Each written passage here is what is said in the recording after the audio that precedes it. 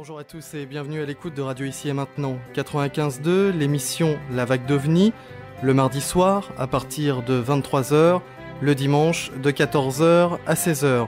Une émission menée aujourd'hui par Marie-Thérèse de Brosse. Notre invité est Jacques Vallée. Voilà donc pour euh, cette affiche quand même très attendue. Bonjour Marie-Thérèse de Brosse. Bonjour Alex. Bonjour Jacques. Bonjour Marie-Thérèse. Bon, alors ça me fait très très plaisir de vous avoir. D'autant que parmi les innombrables surnoms, évidemment, on vous appelle toujours le plus célèbre des ufologues, mais on vous appelle quand même la Greta Garbo. Je l'ai vu souvent parce que vous refusiez les interviews. Enfin, j'ai rien à dire moi de ce côté-là parce que je vous ai interviewé à plusieurs reprises. Mais avant de lancer cette grande émission sur vous, le plus célèbre ufologue, je voudrais rappeler cette petite phrase que vous m'aviez dite et que je crois que vous avez dû publier, mais enfin moi je l'ai publiée sous votre signature. Vous m'avez dit J'ai parfois l'affreuse sensation d'être le seul humain qui ne sache pas ce que sont les ovnis. Alors évidemment, on va parler de, Jacques. Il me, semble que euh, tout le monde, euh, tout le monde connaît la réponse. Les scientifiques euh, et beaucoup de mes de, de, mes amis euh, académiques, disons universitaires, euh, savent très bien que les ovnis n'existent pas et qu'on perd son temps à les étudier.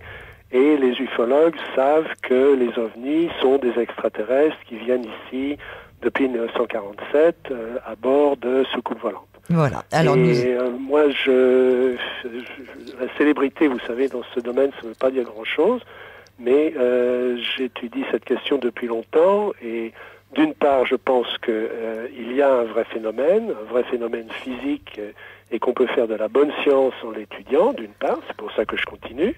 Et, et d'autre part, je ne suis pas convaincu que l'hypothèse extraterrestre est la seule. Voilà. Alors nous allons revenir. une des hypothèses. Nous allons revenir sur tout cela un petit peu plus tard. Je vais quand même brièvement euh, résumer, enfin très très très brièvement, parce qu'on a des, des jeunes amateurs d'ufologie qui vous ont pas forcément lu, parce que si tout le monde cite le nom de Jacques Vallée, quand on discute avec ces jeunes ufologues, on s'aperçoit que bah, ils vous ont pas forcément lu. Enfin, vous me direz, on ne peut pas tout lire, mais quand même. Alors, euh, Jacques, il faut préciser que vous avez beau vivre aux États-Unis, vous êtes français, bien français. D'ailleurs, vous écrivez vos, la plupart de vos livres en français. Et vous êtes euh, natif d'une région qui est célébrissime pour son passé plus ou moins ovniesque, qui est Cergy-Pontoise. Que nous connaissons bien tous les deux. Et que nous connaissons bien tous les deux. Et d'ailleurs, c'est à Cergy-Pontoise, en 1955, est-ce que je peux dire que vous avez eu votre première euh, histoire ovni? Vous n'étiez pas vieux à l'époque. Euh, tout à fait, et euh, c'était assez typique de ce que beaucoup de Français ont vu à l'époque. C'était euh, euh, c'était euh, un objet en forme de, disque au milieu de l'après-midi. Euh, ma mère qui travaillait dans notre jardin m'a appelé et je l'ai rejoint et euh, nous avons, nous avons observé pendant une dizaine de minutes cet, cet objet qui était un disque avec une coupole apparemment transparente par-dessus. Le lendemain, j'en ai parlé à un de mes amis qui était un élève ingénieur, qui l'avait vu depuis euh, sa maison qui est à peu près un kilomètre plus loin, euh, plus haut sur la colline, euh, sur la colline que nous, et qui l'a observé à la jumelle et qui a, l'a décrit exactement dans les mêmes termes. Donc c'est difficile de, alors, sur le moment, je me suis convaincu, en en parlant autour de moi, etc., que c'était probablement un prototype quelconque, un nou- nouvel avion, d'un nouvel appareil scientifique. On sait maintenant qu'il n'y a pas de- d'appareil de, ce type. Donc, euh, il est clair que, mais encore une fois, des milliers de Français à la même époque ont eu la même, euh, les mêmes expériences. C'était pendant la journée ou c'était pendant la nuit? C'était au milieu de l'après-midi. C'était au-dessus de, de, de la position où nous étions. C'était à peu près à un kilomètre ou un kilomètre et demi, euh, stationnaire. Bien. Et alors, à cette époque-là, est-ce que le sujet ovni faisait partie de vos préoccupations ou pas du tout? Pas, pas vraiment. Euh, J'avais suivi, comme tout le monde, la vague de 1954. euh, Oui, la presse en avait tellement parlé oui. Je n'avais pas été touché. Enfin, je connaissais personne dans mon entourage personnel qui, euh, qui, qui a été témoin. Mais pour vous, à l'époque, cette, cette vague dont on a quand même beaucoup parlé, qui était très médiatisée, c'était du délire ou c'était peut-être quelque chose de plausible? Ah non, Essayez de c'était- retrouver c'était votre- quelque chose de plausible, c'était quelque chose de très, de très excitant, de très intéressant, surtout pour un étudiant en sciences euh, comme moi. Vous saviez déjà que vous alliez vous destiner, enfin, vous avez abandonné depuis à moitié, mais euh, à l'astrophysique ou vous, n'y pensiez pas encore? Bah, En 55 euh, je m'orientais vers une, certainement vers une carrière en, en- en sciences, hein, et, et plus, plus euh, précisément, enfin mes affinités allaient clairement vers l'astronomie. Euh, J'avais déjà un télescope, etc. Donc euh, j'étais astronome amateur, si vous voulez, et c'était l'astronomie qui me passionnait. Et puis, comme vous le savez, j'ai travaillé comme astronome pendant un certain temps. Je suis venu aux États-Unis comme astronome et euh, bien la passion de l'informatique a, a pris le dessus euh, chez moi sur la passion de l'astronomie. Mais enfin, je reste, euh, j'essaye de rester au courant de ce qui se passe. Et puis peut-être que l'informatique, euh, on vit mieux d'informatique que d'astronomie, j'imagine. Mais Enfin, ça c'est un petit point accessoire. Alors, je reviens donc en, en, en 61. Vous avez une maîtrise en astrophysique. Vous Oui. travaillez à l'observatoire de Meudon, tout au moins l'observatoire de Paris, qui est, qui est situé à Meudon, au service des satellites artificiels. Tout à fait. Et alors, c'est peut-être là qu'il s'est passé quelque chose de très intéressant pour vous, parce que observant les satellites artificiels, il semblerait que vous ayez observé des choses un peu surprenantes dans le ciel. Bah, pas, nous- pas seulement moi, mais euh, en fait tout notre petit réseau euh, avait. euh, euh, alors, il faut dire que à ce moment-là, c'était tout à fait les débuts, bien sûr, de, de l'exploration spatiale. Il y avait relativement peu de satellites et encore moins de satellites visibles, euh, euh, visibles à l'œil nu ou euh, visibles avec un théodolite qu'on pouvait donc suivre dans le ciel.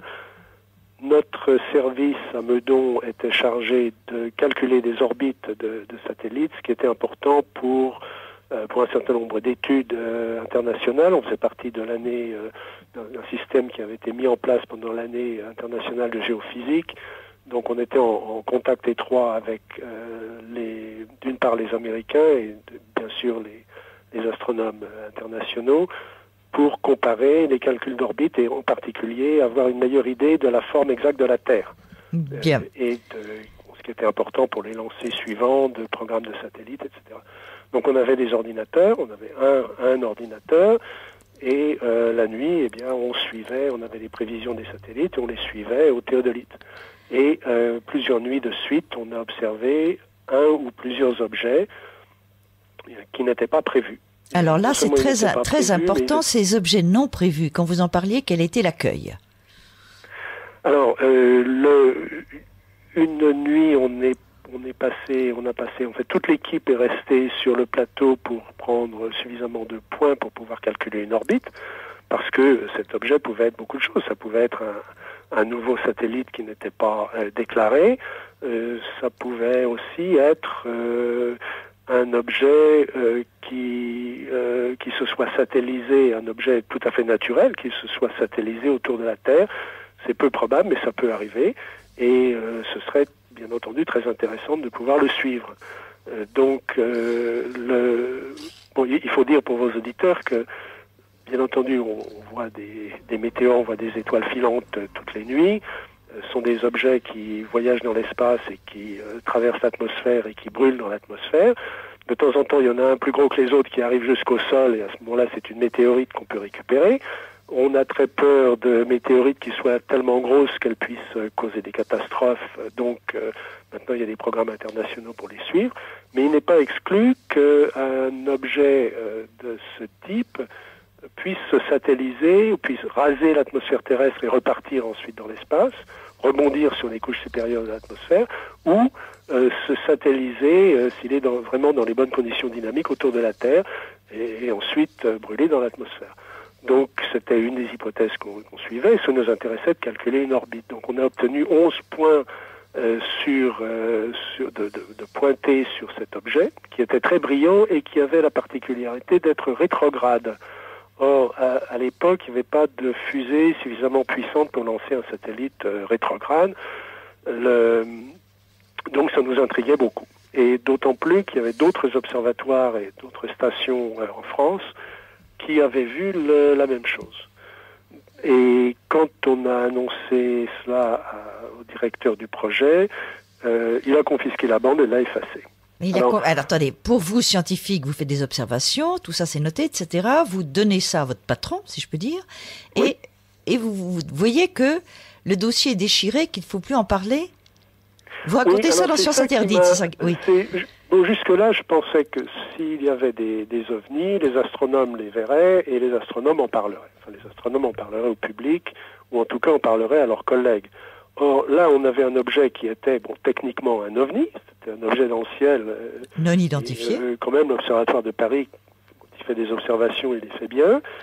Et euh, non seulement on n'en parlait pas au public, mais on n'en parlait même pas à nos collègues. Alors j'ai demandé pourquoi on n'envoie pas ça aux Américains, puisqu'on était on envoyait toutes nos données aux Américains et on recevait d'eux les, les, prévisions d'orbite, les calculs d'orbite, etc. intégrés.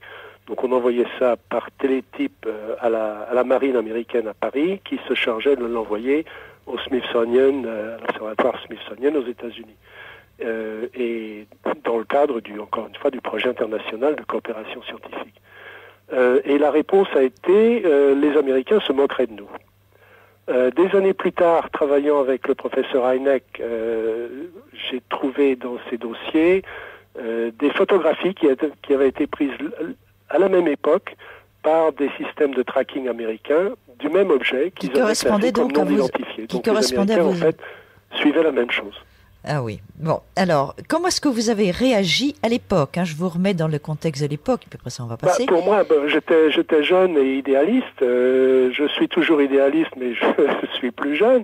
Mais euh, quand même, quand on fait de la science et qu'on se, se consacre à une à une carrière scientifique, on le fait avec certains, certains idéaux, certains standards, particulièrement en astronomie. En astronomie, il y a une règle qui dit que quand on observe quelque chose, il faut le noter, parce que même si on n'a pas l'explication, euh, il y aura peut-être peut quelqu'un dans 200 ans qui, euh, pourra euh, utiliser l'observation pour, une nouvelle théorie. Donc c'est pas comme en physique où quand on fait une expérience qui marche pas, ben, on peut recommencer la manip plus tard, donc c'est pas grave. En astronomie, on peut pas recommencer la manip plus tard. Donc il faut soigneusement garder toutes les observations, même quand on ne les comprend pas. Bien sûr. Oui. Et là, on était vraiment en violation directe de, ce, de l'éthique euh, scientifique. Donc ça vous a choqué Ça vous a choqué ou vous avez accepté Ça m'a choqué profondément. Ah bon Alors, Ça m'a choqué profondément. Alors à ce moment-là, j'ai repris euh, contact avec euh, quelqu'un avec qui j'avais correspondu brièvement quelques années avant, c'était Aimé Michel, qui était vraiment un des un des hommes dont la pensée était la plus, la plus profonde euh, sur ce sujet-là et sur d'autres euh, euh, dans, dans, les années 50, 60, 70, et qui était un philosophe de la science, disons, et, je lui ai dit, mais bon, il y a vraiment un problème, donc non seulement il faut faire quelque chose, et il faut voir si nous, on est face si on détruit ce genre de données euh, dans un observatoire comme l'Observatoire de Paris, combien y a-t-il d'autres astronomes et combien d'autres stations, combien de radars, combien font la même chose Ça veut dire qu'il faut rouvrir le dossier, là, il faut vraiment voir. Donc on a commencé à construire un petit réseau qu'on a plus tard appelé le Collège Invisible de scientifiques qui, euh, sous le manteau, bien sûr parce qu'ils avaient peur pour leur carrière, euh, se sont mis à échanger des données sur le sujet. petite question peut-être un peu naïve, mais est-ce qu'il est possible, lorsqu'on travaille officiellement dans un grand observatoire, de prendre des copies des données ou c'est absolument exclu? Oh ben Non, on peut prendre des copies des données. Il n'y a rien de qui soit vraiment euh, classifié. Euh, D'autant plus qu'on travaille euh, avec, euh, avec l'argent du contribuable. Hein. On est quand même au service du public. Par exemple, une grande partie de notre travail consistait à répondre aux questions des, des gens qui nous écrivaient pour dire qu'ils avaient vu quelque chose dans le ciel et ils voulaient savoir ce que c'était, etc. Donc, euh, non, on est quand même, on est assez. Une certaine liberté. Donc, j'en déduis que vous avez, vous aviez gardé les. J'en déduis que vous avez gardé les preuves de ces observations interdites euh, que vous aviez faite dans les, les années euh, en 61 alors? Bien, on n'avait plus. Euh, non, la, bande a été détruite. Hein, ah, c'est ça, pas de copie. Hein. reconstruire tout ça. D'accord. Bon, alors nous continuons. Alors en 62, vous partez aux États-Unis et vous allez travailler au département d'astronomie de l'université du Texas et vous contactez le célébrissime professeur Heineck qui était alors le conseiller scientifique de l'US Air Force pour le projet Blue Book et qui lui, pensait sincèrement que le, gouvernement s'intéressait au, sujet OVNI, n'est-ce pas? Ah, Attendez, là on saute, euh, une étape euh, importante. Euh, moi j'étais assez, assez écœuré de ce que j'avais vu de la science française de l'époque. Hein, depuis les choses ont beaucoup beaucoup changé, bien sûr. Des jeunes scientifiques qui ont changé tout ça. on n'est plus dans la même situation. Mais à l'époque, j'étais très frustré, euh, d'une part parce que parce que j'avais vu donc euh, avec cet épisode de, cet objet, mais aussi parce que je m'intéressais de plus en plus à l'informatique et l'informatique était considérée comme une sous-science. C'est-à-dire l'idée c'était euh, si on n'est pas très bon en mathématiques, on fait des mathématiques appliquées, et si on n'est pas très bon en mathématiques appliquées, on fait de la programmation. C'était un petit peu ça. Mon patron euh, m'avait dit, écoutez, vous êtes un bon scientifique, perdez pas de temps avec les ordinateurs, c'est des joujoux pour les ingénieurs. Et, pourtant, vous avez euh, disposé d'ordinateurs très très très puissants aux États-Unis qui n'existaient pas encore en France. oui, hein. moi, l'informatique me passionnait. C'était tout à fait les débuts des, langages de, haut niveau, etc.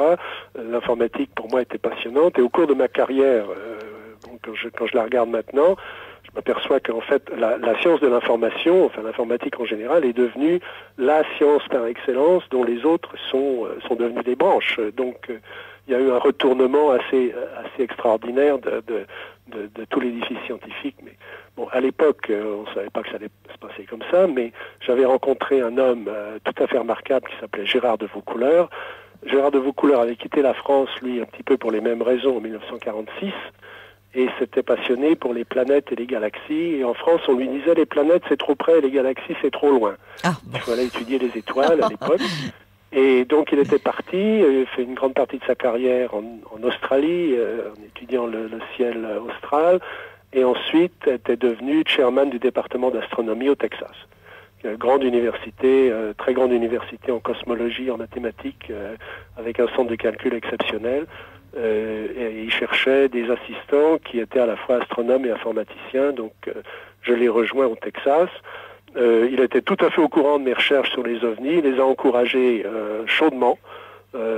et m'a dit, écoutez, vous utilisez l'ordinateur comme vous voulez. J'étais en train de faire à ce moment-là le premier catalogue avec, avec ma femme, Janine, le premier catalogue informatique de, de cas. Parce que ce qu'on fait en science, quand on est devant un phénomène nouveau, bah, on essaye de rassembler toutes les observations et puis on essaye de, voir s'il y a des, des modèles, on peut faire une modélisation et euh, de, voir s'il y a des, des, patterns, des modèles qui se reproduisent dans les observations. Donc euh, le, le, fait de pouvoir disposer d'un ordinateur euh, moderne était, était très utile. C'était un atout. Il a donc encouragé mes recherches, ce qui m'a mis en contact avec le professeur Heineck, à Northwestern et j'avais décidé de reprendre mes études, de faire un doctorat en informatique et Northwestern m'avait, m'avait offert de les rejoindre. Donc c'est comme ça que je suis arrivé à Chicago. Ah oui, bon, très bien. Alors, à la fin du... Vous commencez à travailler avec, euh, avec INEC, je ne sais pas si euh, officiellement, mais enfin, dans les années 69, à la fin du... C'était donc la fin du rapport du Blue Book. Oui. Travaillant avec INEC, vous vous êtes rendu compte quand même de quelque chose qui n'était pas très clair.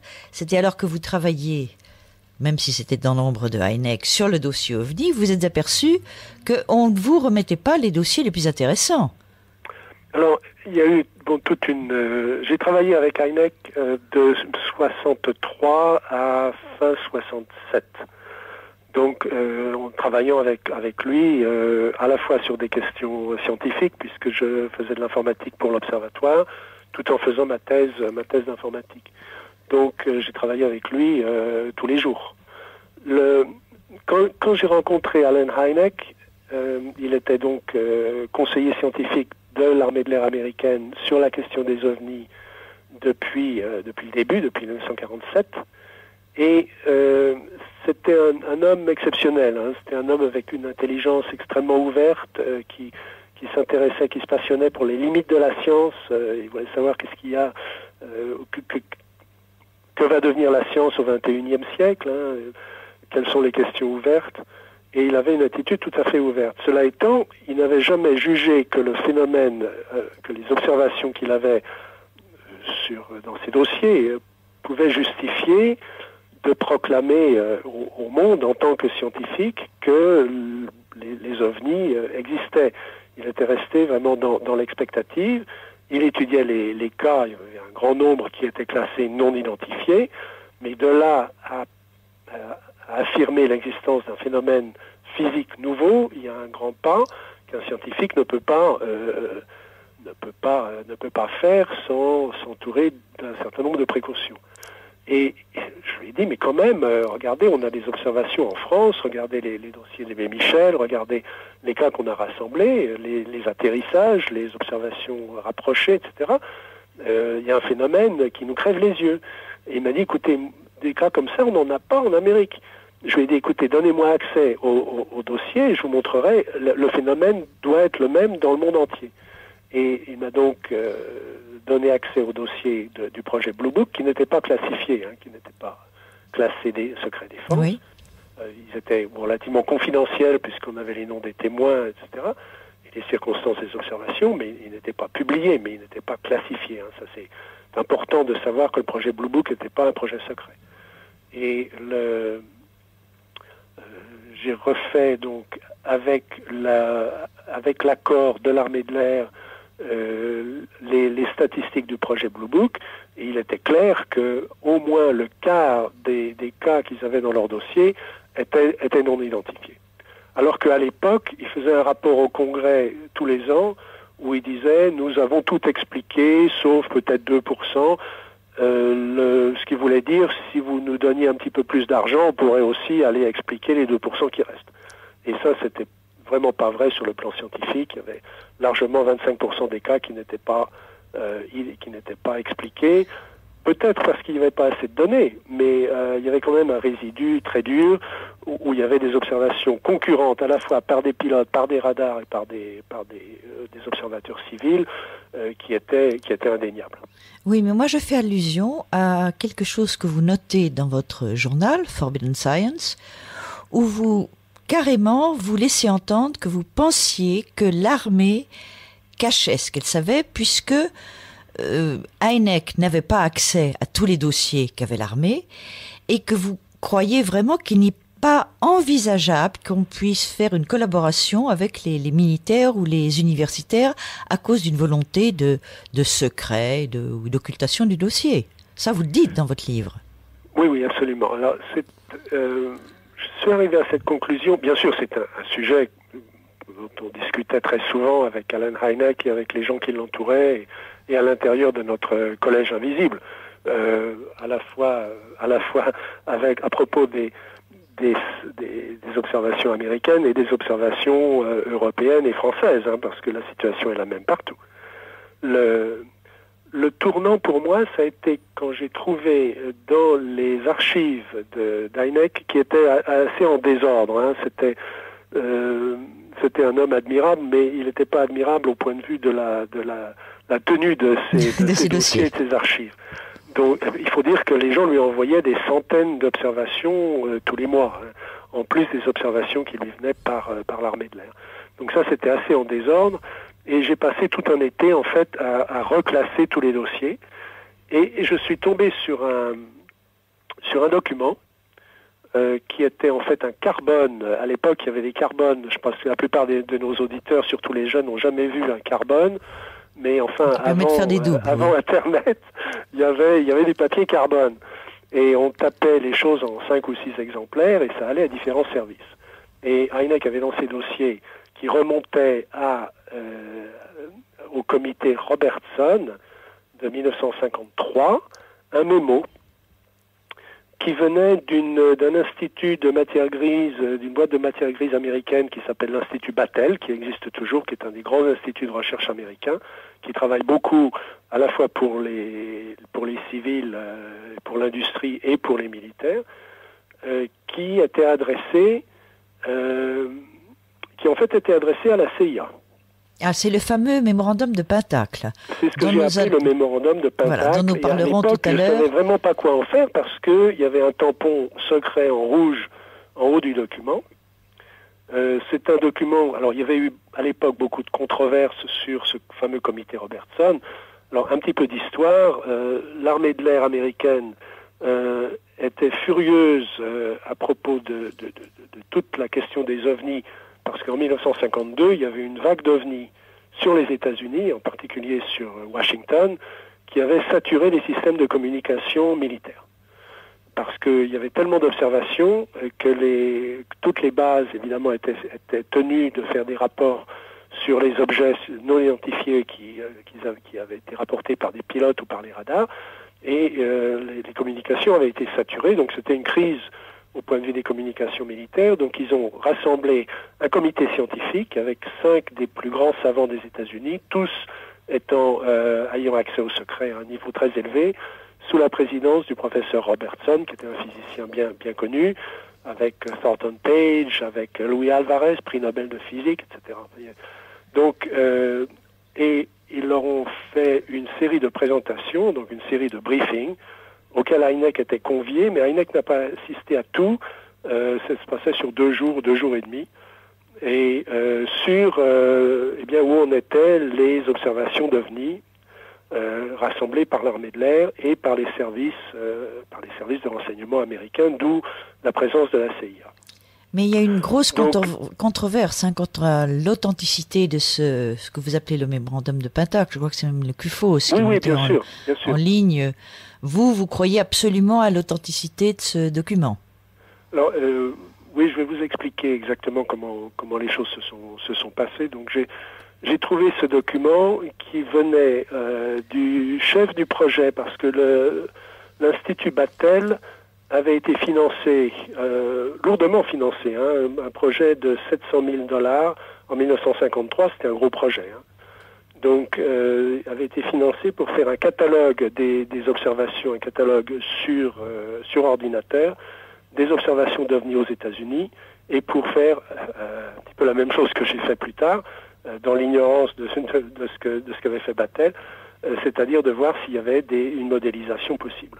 Oui, ce qui permet d'aboutir les... à une classification finalement.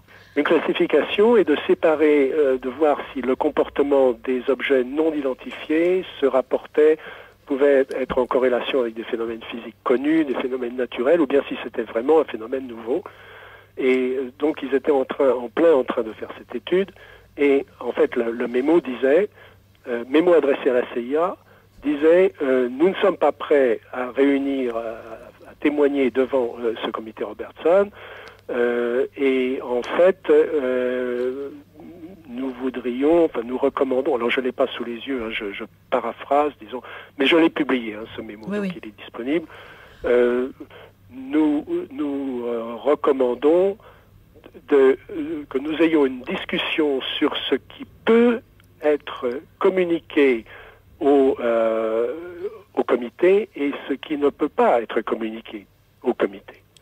Et ça, ça m'a sidéré parce que voilà un institut dont j'avais relativement pas entendu parler, euh, s'adressant à la CIA alors que le comité était réuni par l'armée de l'air, comme si c'était la CIA qui en fait euh, décidait de ce qui devait être présenté aux scientifiques, et disant que, euh, suggérant qu'il y avait certaines choses qui ne pouvaient pas être présentées à cet aréopage scientifique qui était de première grandeur.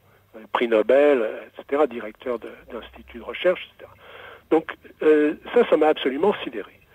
Alors, bon, le, document était, euh, donc estampillé secret. Il faut dire que le comité Robertson, à l'issue de, de ses sessions, euh, avait donné son avis donc au gouvernement, avait conseillé de, de, faire une campagne de, euh, pour minimiser la question des ovnis, qui pouvait être dangereuse. Et, à l'époque, ça a l'air ridicule maintenant hein, de dire que les communications des, sur les ovnis pouvaient saturer les communications militaires, etc. Mais à l'époque, c'était une préoccupation tout à fait légitime parce que on pouvait imaginer un, un ennemi simulant une vague d'ovnis pour euh, saturer les communications militaires et attaquant les États-Unis en même temps. Donc il y avait, ça. Euh, ça relevait donc de la, de, de la guerre psychologique. Euh, il y avait un certain nombre de, de spécialistes de la guerre, de la guerre psychologique qui s'intéressaient à la question et qui s'y intéressent toujours. Donc c'était une préoccupation légitime du point de vue des services euh, de sécurité. Bon, la même chose se passerait aujourd'hui en France, aux États-Unis, n'importe où, dans le cadre de problèmes de terrorisme, etc. Donc c'était le, le problème du point de vue scientifique, c'est qu'il disait que l'étude des ovnis était une perte de temps complète et qu'en fait, il fallait surveiller les groupes d'amateurs qui s'intéressaient à la question pour être sûr qu'ils n'étaient pas subversifs. Donc c'est à ce moment-là. Alors les, les, conclusions du comité Robertson sont elles-mêmes restées secrètes. Elles ont été publiées depuis, elles ont été déclassifiées. Maintenant, donc on sait historiquement ce qui s'est passé. Euh, il y a eu des, des, livres sur la question, comme le livre du professeur Jacobs que vous connaissez, etc. Euh, il n'y a pas de, pas de doute sur ce qui s'est passé. Oui, la, euh, la, la controverse sur les, les, ovnis aux États-Unis, oui, Jacobs. Oui, oui, tout à fait. Mm -hmm. Alors, bon, moi, j'ai longtemps hésité même à en parler à Heineck. Euh, ah bon? et, Oui. Ah oui, il y avait un problème de euh, d'éthique quand même, euh, un problème de bon, un problème personnel. Enfin voilà, ce, ce document que je n'étais pas censé avoir. Euh, je suis arrivé bon à la conclusion que ça venait des dossiers, des dossiers d'Alan Heineck et j'étais tenu par ma, ma, loyauté envers lui de, de lui en parler. Euh, donc je lui ai il y avait une seule autre personne qui était au courant, hein, c'était Fred Beckman, qui faisait partie de notre, groupe. Donc, on en a parlé à Alan, et, et Alan a dit, écoutez, moi, je me souviens pas de, des circonstances qui ont entouré ça, mais visiblement, c'est un truc authentique. Euh, J'avais oublié que ça s'était passé comme ça. Euh, il m'a expliqué ce qui s'était passé avec Battel. Et ensuite, il a essayé d'en savoir plus auprès de Battel, qui a absolument refusé de lui en parler. Avec Battel le recul, est-ce que a vous... dit, écoutez, c'est une vieille histoire, euh, c'est fini, on n'en parle plus, c'est classé. Oui, avec le recul, est-ce que vous pouvez dire si vous aviez, s'il existait entre Heineck et vous, des rapports de totale confiance Ah oui, absolument. Total des deux côtés. Bon. Absolument. Alors, nous allons voir Alors, que... Donc, euh, vous, pour revenir à ce que vous, ce que vous disiez sur la controverse, euh, quand euh, j'ai parlé dans la, dans la première version de, des publications de mon, journal de l'époque, j'ai parlé de ce document, mais je ne l'ai pas cité euh, in extenso. J'ai dit qu'il existait un document qui, etc. Et qui soulevait la question de savoir ce que les scientifiques avaient vraiment vu et s'il y avait eu une censure de ce qui avait été présenté au comité Robertson. Et immédiatement, alors là, les, les ufologues n'ont pas vraiment été à la hauteur. Euh, des, des. Mais vous savez, je commence à avoir l'habitude. À chaque fois qu'on dit quelque chose, il y a immédiatement une controverse dans les, les milieux ufologiques. Enfin, dans le, Nous dans parlerons le tout à l'heure de vos rapports avec le milieu des Et ufologues. on est tout de suite accusé d'un tas de trucs. euh, bon. Donc euh, c'est assez amusant d'ailleurs parce que tout, tous mes livres ont été instantanément rejetés les uns après les autres par, par les milieux ufologiques Faux. comme étant déliants, etc. Et puis on s'aperçoit quelques années après que bon bah ils sont Faux, devenus- faux, faux. Là, je vous coupe la parole, Jacques, parce Oui. que, euh, en dehors de votre, euh, outre, j'allais dire, votre côté scientifique, vous présentez l'énorme avantage d'être un homme de culture.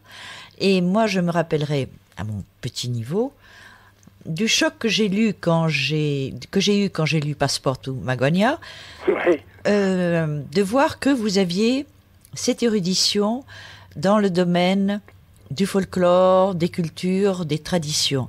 Moi, je sais que c'est un ouvrage qui m'a énormément apporté et qui a changé quand même toute une phase de l'ufologie. Beaucoup de gens vous sont vraiment vos débiteurs, ne serait-ce qu'à cause de ça. Mais nous allons en revenir euh, plus tard. Je vais brièvement, avant la petite pause musique, énumérer vos différentes publications où on voit que le Jacques Vallée a quand même un peu évolué. Euh, en 65, euh, Anatomy, avec les imbéciles qui n'évoluent pas. Hein. Anatomy of a Phenomena. En 66, Les phénomènes insolites de l'espace. Je crois que c'est ça, euh, Challenge to Science, si j'ai bonne mémoire. Oui, tout à hein. fait. Avec une préface d'Einec d'ailleurs. Euh, en 69, le, le- le merveilleux Passport to Magonia, qui a été traduit sous le titre de Chronique des apparitions euh, extraterrestres. C'est là où vous faites le lien entre, le premier vraiment, à faire les liens entre le- les ovnis et le folklore, et, et qui montrait que le phénomène est associé à l'histoire humaine, hein, qui, ne, qui ne date Absolument. pas des années. Bon. Euh, en 75, c'est le fameux Collège invisible. En 79, un livre qui est je me rappelle, il est paru assez, il a été assez mal reçu en France. Et je me rappelle de votre attachée de presse qui avait les yeux hors de la tête. Elle avait les yeux à 25 cm du visage quand elle m'a présenté euh, Messenger of Deception. Je sais plus comment est-ce qu'il était traduit. C'est là où vous parliez des mutilations. La grande manipulation. La grande manipulation, oui. Alors, bah, en le premier livre qui a soulevé la question de la désinformation en ufologie. C'est ça, oui. Et évidemment, c'était pas, ça n'a pas été reçu euh, très chaudement par euh, certaines personnes. Et alors, vous avez la célébrissime trilogie euh, Dimension, Confrontation et Révélation. Là où on voit déjà le Jacques Vallée qui se formate de façon un petit peu différemment, puisque vous développez des arguments contre l'origine extraterrestre des ovnis. Vous développez une classification qui se démarque de celle de Heineck, qui est beaucoup plus précise, beaucoup plus pointue, qui peut faire un remarquable euh, outil de travail. Vous parlez quand même, pour quelqu'un qu'on accuse de nier totalement le, le, phénomène ovni, des effets physiques des ovnis, puisque vous parlez de la, la célèbre histoire de Trans en Provence, et vous parlez également du rôle des autorités. Hein. Et avec une petite chose Oui. qui m'intéresse euh, au point de vue psychologie, euh, que vous avez intitulé, si j'ai bonne mémoire, les, les pièges du faux raisonnement en ufologie. Ça, c'est Oui, un, un petit régal. Alors, en, en 92, un livre qui est pas très, pas très connu, que vous avez écrit avec ma copine Martine Castello, Oui, les, les chroniques, euh, les chroniques d'Union soviétique.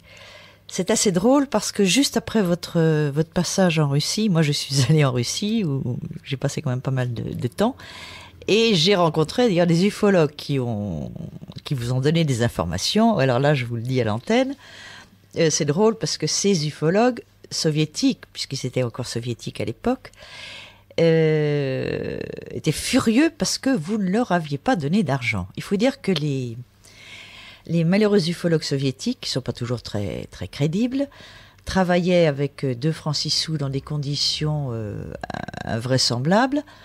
Et dès qu'ils voyaient arriver euh, des gens de l'Ouest, puisque nous sommes des gens de l'Ouest pour eux, même les Français, nous sommes dans leur tête des, usines à dollars et évidemment nous devons les, les aider. Bon. Alors en 96, c'est le gros pavé très passionnant, Forbidden Science, qui n'a pas été traduit en France pendant longtemps, si j'ai bonne mémoire. hein.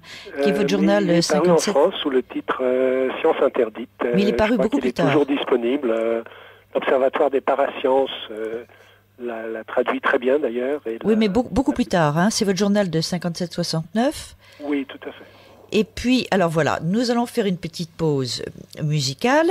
Nous allons revenir à vous. Et je précise quand même que vous avez quand même trois spécificités. Ou de vos compétences scientifiques. Vous êtes un homme de culture, c'est-à-dire qu'il y a moins de hier. Vous êtes un homme qui va sur le terrain. Et ça, c'est très important à notre époque où les gens se contentent de, de surfer sur le net et de recopier une fois, deux fois, dix fois des informations jamais vérifiées. Et vous accordez une grande importance au témoignage. Alors, avant de rentrer dans des points très spécifiques, parce que Jacques a quand même un regard assez particulier, j'aimerais faire une petite parenthèse qui, c'est peut-être pour nos lecteurs, euh, nos auditeurs euh, français, nous rapportera quelques informations sur la nature tout à fait bizarre, on le sait bien, entre le gouvernement US et l'information sur les ovnis. Et je vais prendre un, un domaine très particulier qui est celui du cinéma où vous allez voir Jacques Vallée évidemment rentre. Il y a une euh, vingtaine d'années, en 79 si j'ai bonne mémoire, Ward Kimball a révélé à un congrès du MUFON, le MUFON étant la plus grande organisation ufologique euh, actuelle aux États-Unis, que le gouvernement US avait contacté la compagnie Walt Disney pour faire un document sur les ovnis, dans le prétexte d'aider la population américaine à se familiariser avec la réalité des ovnis. Et effectivement, en 55 ou 56, ça c'est les, infos que je tiens de... Walt Disney a été contacté par euh, l'US Air Force pour réaliser un documentaire sur les ovnis et l'US Air Force l'assurant que euh, on mettrait à sa disposition du matériel filmé et que Walt Disney pourrait utiliser. C'est une promesse qui évidemment n'a jamais été tenue. Les documents ont été gardés secrets et le projet a avorté. rebelote, si je peux dire. Après la fin du, rapport euh, Blue Book en 69, d'autres passerelles vont être jetées, encore une fois, entre la compagnie Walt Disney, on voit quand même l'importance, on ne choisit pas une petite euh, compagnie, et le ministère de la Défense. Alors là, je prends ma petite liste parce que c'est assez rigolo. Voici parmi les preuves à utiliser qui étaient promises par le colonel Bill Coleman, qui était le, le porte-parole du projet Blue Book. Alors en 1972, voilà les documents qu'on promet de donner à Walt Disney en disant vous pouvez les utiliser. Photos et films d'OVNI, film d'un alien avec un officier de l'Air Force, un alien qui aurait qui serait venu d'un crash qui aurait eu lieu en 49 et qui serait mort, donc qui aurait vécu sur Terre et qui serait mort en 52. Vous voyez, prudemment, j'utilise le conditionnel. Parmi les autres preuves, le film d'une rencontre de trois aliens avec des officiels sur la base aérienne de Holoman en mai 71 et différentes photos d'ovnis prises par des astronautes. Comme par hasard, ce projet a été annulé, toujours sous différents prétextes. Là, c'était le Watergate, donc le, climat n'était pas propice. On voit qu'il y a eu également des approches avec Linda Moulton Howe, qu'on a vraiment manipulé en lui faisant croire qu'il allait avoir des, des documents extraordinaires. Et en 1985, on va avoir encore une autre proposition avec Walt Disney. Le colonel Coleman affirmant que le moment était venu de révéler la présence des extraterrestres sur Terre et que toutes les conditions étaient réunies pour que l'armée puisse donner le matériel. Alors, il était question que Jacques Vallée et le professeur Heineck soient impliqués dans ce projet. Alors là, qu'est-ce que vous avez Quelle a été votre attitude, Jacques? Alors, euh, d'abord, on avait, euh, on avait déjà vu ce qui était arrivé avec euh, Linda Howe. Il faut dire que le, projet avait été, euh, il y avait eu un premier documentaire qui avait été fait pour, euh, pour le Pentagone, dans, le cadre d'une série de documentaires, par une compagnie qui était dirigée par Alan Sandler et Bob Emmenegger, qui étaient deux, deux spécialistes des relations publiques et des, des documentaires, en fait. Et donc une petite société de production, comme il y en a beaucoup euh, à Los Angeles, bien connue, euh, et il faut une- donc une série de documentaires sur euh, la médecine, par exemple la, la médecine aérospatiale, etc. Et le Pentagone leur demande, par l'intermédiaire du colonel Coleman que vous avez euh, cité, qui faisait partie des, des services de relations publiques du Pentagone. Hein. C'est euh, pas les services militaires directement, services de relations publiques, donc en contact avec Hollywood, euh, qui leur demande de faire un documentaire sur les ovnis. À leur grande surprise. Et qui leur dit effectivement, euh, si vous euh, si vous arrivez à décider, Heineck et son équipe, et donc et à s'engager fermement sur la question, on vous donnera des documents. Et Hayek et moi, on s'est regardé quand on a été euh, contactés et on est arrivé très rapidement à la conclusion que, en tant que scientifique, on ne va pas prendre, on ne va pas se lancer dans des hypothèses. Euh, moi, j'ai dit à Alan, euh, si s'ils ont des documents euh, classifiés, euh, eh bien, euh, qui nous donnent une, clearance, hein, l'accès au secret, on signera ce qu'il faudra signer, etc. Euh, et puis euh, qui nous fournissent les preuves et qu'on puisse les tester. Et si on arrive à la conclusion que ces documents sont authentiques et ne sont pas simplement du bourrage de crâne euh, comme, euh, comme euh, certains services savent le faire, eh bien à ce moment-là, on, on donnera notre opinion et puis ce, sera, ce sera ouvert au public à ce moment-là. C'est la procédure normale, non? C'est Ça sûr, semble oui. logique. Et euh, ils n'ont jamais voulu faire ça. Ils ont dit non, non, il faut que vous vous engagiez et puis après, ben, on Avant de voir les soi-disant documents. Avant, absolument. Alors, euh, bon, euh, moi je suis pas Linda Howe, hein, qui, qui était donc journaliste qui faisait son travail de journaliste, donc qui donnait, qui fournissait les informations, qui passait les informations qu'on lui avait fournies. là, on, engageait quand même notre crédibilité scientifique et puis aussi les, les, scientifiques qui nous suivraient. donc on prenait une très grosse responsabilité. Donc on leur a demandé de nous montrer ce qu'ils avaient. Et on a eu une série de visites euh, absolument euh, surréalistes sur une base de l'armée euh, de l'armée de l'air qui s'appelle Norton Air Force Base, qui a été décommissionnée depuis, mais qui était dans le désert à l'est de Los Angeles et dans laquelle étaient rassemblées toutes les archives audiovisuelles du Pentagone. Oui. Alors, ils sont installés là parce que très souvent dans les films, euh, enfin quand vous voyez des films euh, de guerre, euh, très souvent les sociétés de production ont besoin d'avoir ben, cinq minutes de, de film sur des manœuvres dans le Pacifique d'un porte-avions ou sur la deuxième guerre mondiale au-dessus de la France, etc. Donc ils viennent, ils viennent voir ces services de militaires et ils leur empruntent des, des bouts de films. Donc, ils servent à alimenter, euh, alimenter Hollywood. Donc, euh, on a rencontré des gens très intéressants, notamment deux généraux, dont, un avait servi sous, euh, sous Patton. et on a beaucoup parlé de la France, de la Deuxième Guerre mondiale, des débarquements en Normandie, etc. Et des mmh. ovnis. Et des ovnis. Et alors Et des ovnis, tout à fait. Mais on n'a jamais eu de preuves. Et comme on n'a pas eu de preuves, eh bien, on a refusé de, de participer à cette, cette partie du document. J'imagine que vous avez quand même demandé pourquoi est-ce que vous ne pouviez pas avoir accès à ces preuves avant de vous engager. Bien sûr, et à chaque fois, euh, on nous a donné euh, des, échappatoires. Ah bah le, la personne qui s'en occupait, c'était le lieutenant machin, et puis euh, il est plus là, il est il est au Groenland, il a été réassigné.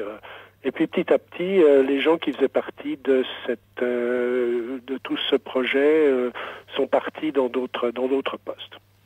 et alors... on n'a jamais pu savoir, je n'ai jamais pu savoir le fin mot de l'affaire et Heineck non plus. alors, il, il, faut savoir, si on prend un peu de recul, le, on, on, pense toujours, et avec raison, que les services militaires essayent d'étouffer la question des ovnis. C'est vrai. Mais il y a d'autres raisons pour lesquelles certains services peuvent vouloir, au contraire, populariser la question des ovnis. Et l'amplifier, selon le terme à la mode. Absolument. Et c'est un jeu auquel tout le monde a joué, pas seulement les Américains. Les, Russes l'ont fait, euh, certains pays européens euh, l'ont fait. Euh, pourquoi Bon, ça, ça a l'air complètement idiot de, de, faire croire aux gens qu'il y a des ovnis dans le ciel. ça peut servir à plusieurs choses. Euh, et ça s'appelle de la désinformation. Et, même à la limite, ça peut, ça peut même être légitime parce que quand on a un prototype euh, qui a une forme bizarre et qui s'écrase quelque part, il faut bien expliquer, il faut bien que donner une raison aux gens qui, qui l'ont vu s'écraser dans leur champ. Donc euh, les, les, Russes ont fait ça très bien. Je vois et là, j'ai été pris. Hein, J'avoue que j'ai été pris par ça. Dans, dans le livre que j'ai écrit sur les observations soviétiques, j'ai mentionné une série d'observations où euh, les gens avaient vu une espèce de comme une coupole euh, rougeoyante ou orange qui montait dans le ciel euh, à une grande distance. Et, et, en fait, ce qui était curieux, c'est que ces observations avaient été popularisées dans la presse soviétique. Alors la presse soviétique, c'était pas tous les jours qu'elle parlait d'ovnis. Hein. Euh, il y avait euh, donc, toute une contre-propagande contre les ovnis. Les ovnis étaient des mensonges des capitalistes pour euh, euh pour euh, détourner euh, l'opinion des, des, vraies questions économiques, etc. Enfin, on se rappelle de tout cela. Et il y avait une censure sur les sur les cas d'OVNI qui a été levée d'ailleurs au moment à peu près au moment où, où Martin Castello et moi sommes allés en Union soviétique. C'est pour ça que c'était passionnant d'y aller à ce moment-là.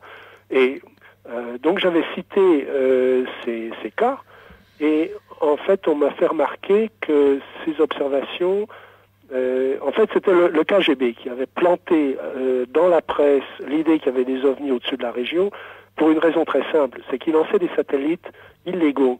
Ils lançaient des satellites qui étaient en, violation des traités SALT qu'ils avaient signés avec les Occidentaux.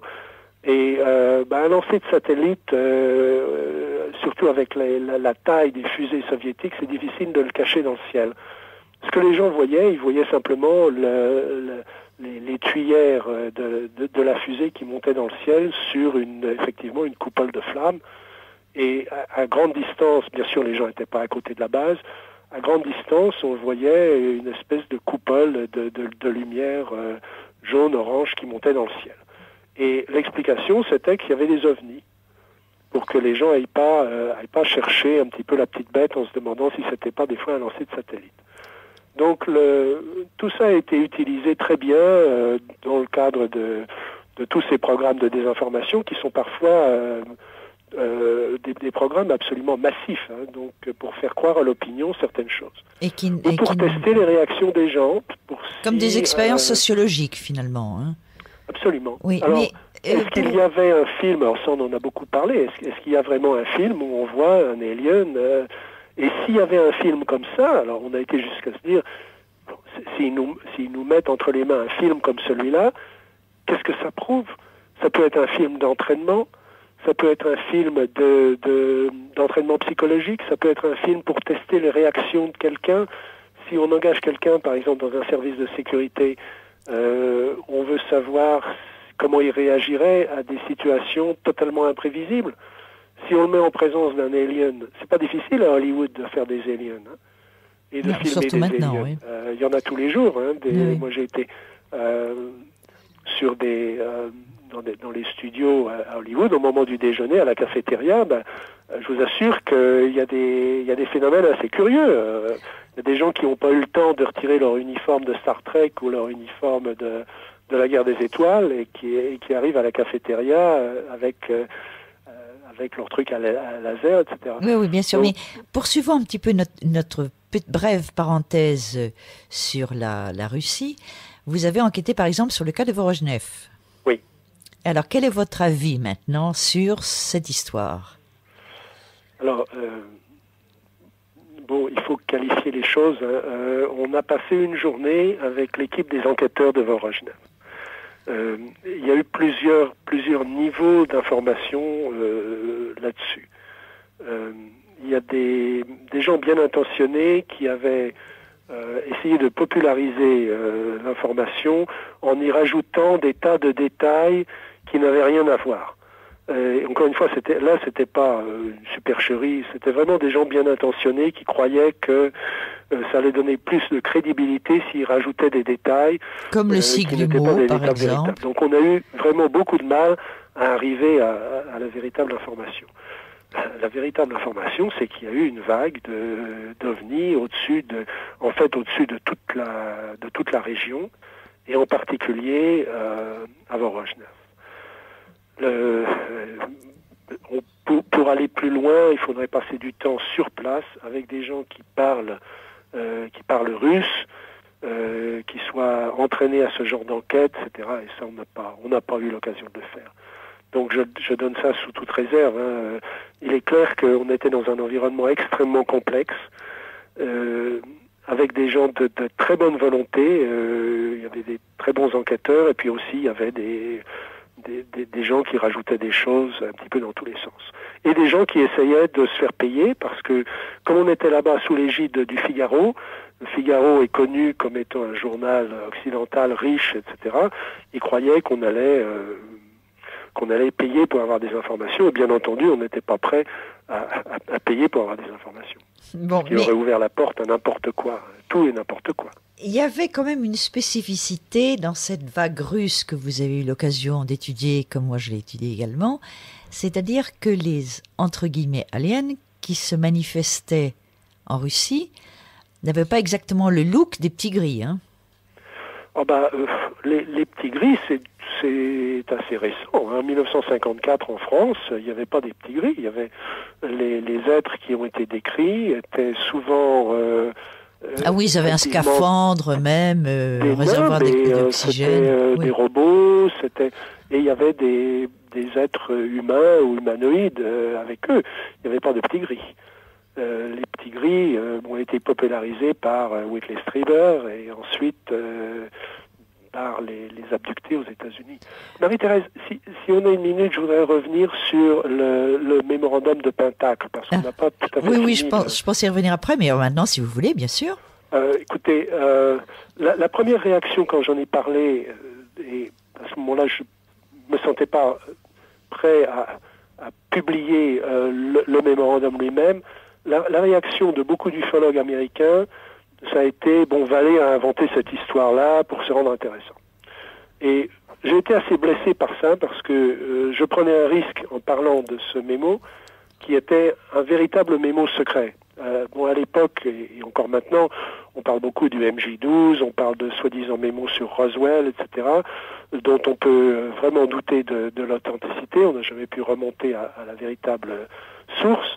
Là, euh, j'avais un, mémo qui était visiblement authentique, dont, dont me garantissait l'authenticité, euh, qui venait de, de, Battelle, qui ouvrait vraiment une très importante question sur, au point de vue scientifique, enfin, quels, sont les rapports entre ces, études et, ce que savent les scientifiques, parce que les scientifiques ont quand même rejeté, la, la communauté universitaire, disons, a rejeté euh, l'étude des ovnis sur la base de ce que les militaires lui disaient.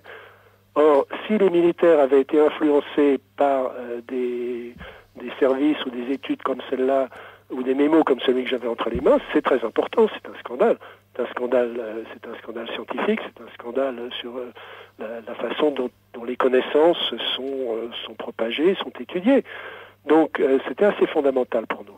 Le problème, c'est que ben, ce mémo, on ne pouvait pas le publier. Donc, je l'ai rendu à, à ENEC, quand j'ai quitté les États-Unis. Je suis revenu en France en 67 euh, jusqu'en 68. Et euh, je, l'avais glissé, pour la petite histoire, j'avais acheté euh, une reproduction de La Dame à la licorne que j'avais encadrée et j'avais glissé ce, mémo derrière La Dame à la licorne.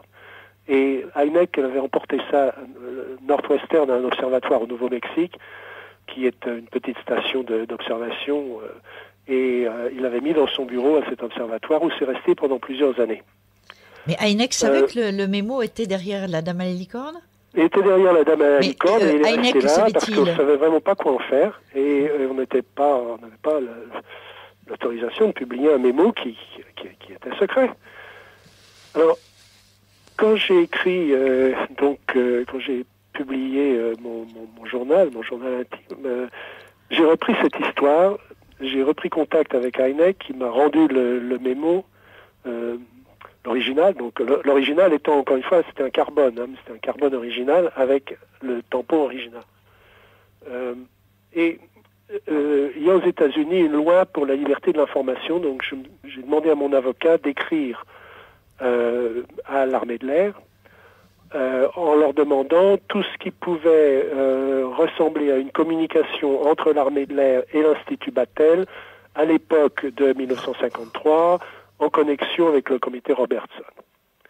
Et on a eu une réponse très polie d'un service de l'armée de l'air qui nous disait on n'a plus tout ça, euh, le projet est fini, ce, que vous demandez, ça relève du projet Blue Book. Toutes les archives du projet Blue Book sont, ont été transférées à une base où on est en train de, de les mettre, euh, de les archiver, et, euh, et euh, essentiellement on n'a rien de ce que de ce que vous dites.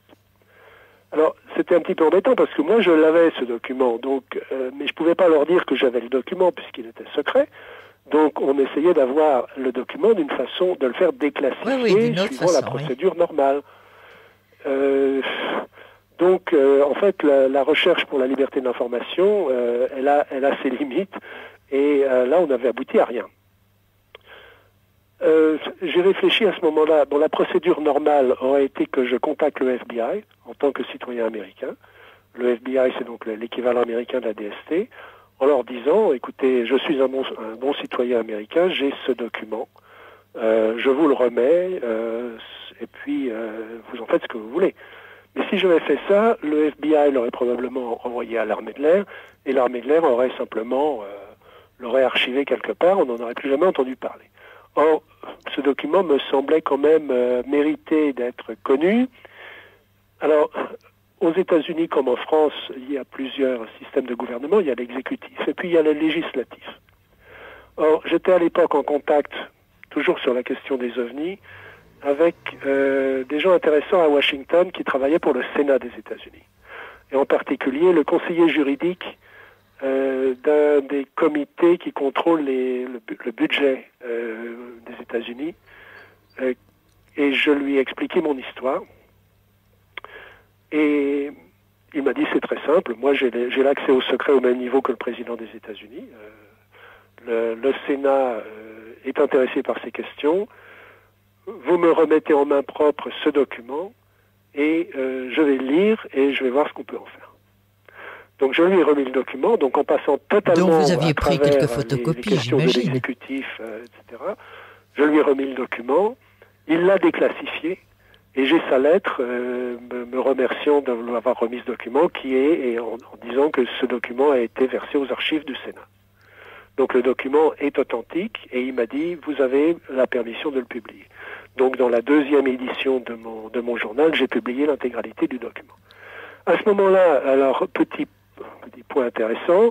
Les mêmes ufologues qui avaient dit euh, ce document est faux, euh, tout ça, c'est Vallée qui l'a inventé, se sont aperçus tout d'un coup qu'ils en avaient une autre version dans leurs archives et euh, ils en ont fait une étude, etc. et l'ont publié en grande pompe. ce qui quand même soulève quelques questions sur bon qui est exactement en train de faire de la désinformation et Attendez, que voulez-vous dire par une autre version? et Qui est qui sert un petit peu de. oui, oui, mais Jacques, j'aimerais que vous me répondiez. Quand vous dites une autre version, ça veut dire un autre carbone ou un autre mémo de Pentacle euh, écrit, rédigé un petit peu différemment? Euh, Alors, je n'ai pas comparé vraiment mot à mot les deux versions. Euh, je crois que c'était une autre copie du même, du même mémo. Donc, en principe, c'est le même texte. Il disait la même chose. Hein. il disait la même chose, c'était de la même personne. C'est le même texte, oui. Bon. C'était pas n'importe qui les gens de Batel. Hein. Depuis, je me suis renseigné sur qui était. On a fait quand même une petite étude pour remonter, remonter ça tranquillement. Euh, c'était toute une équipe de métallurgistes. Hein. C'était pas n'importe qui. C'était pas juste des informaticiens ou des programmeurs.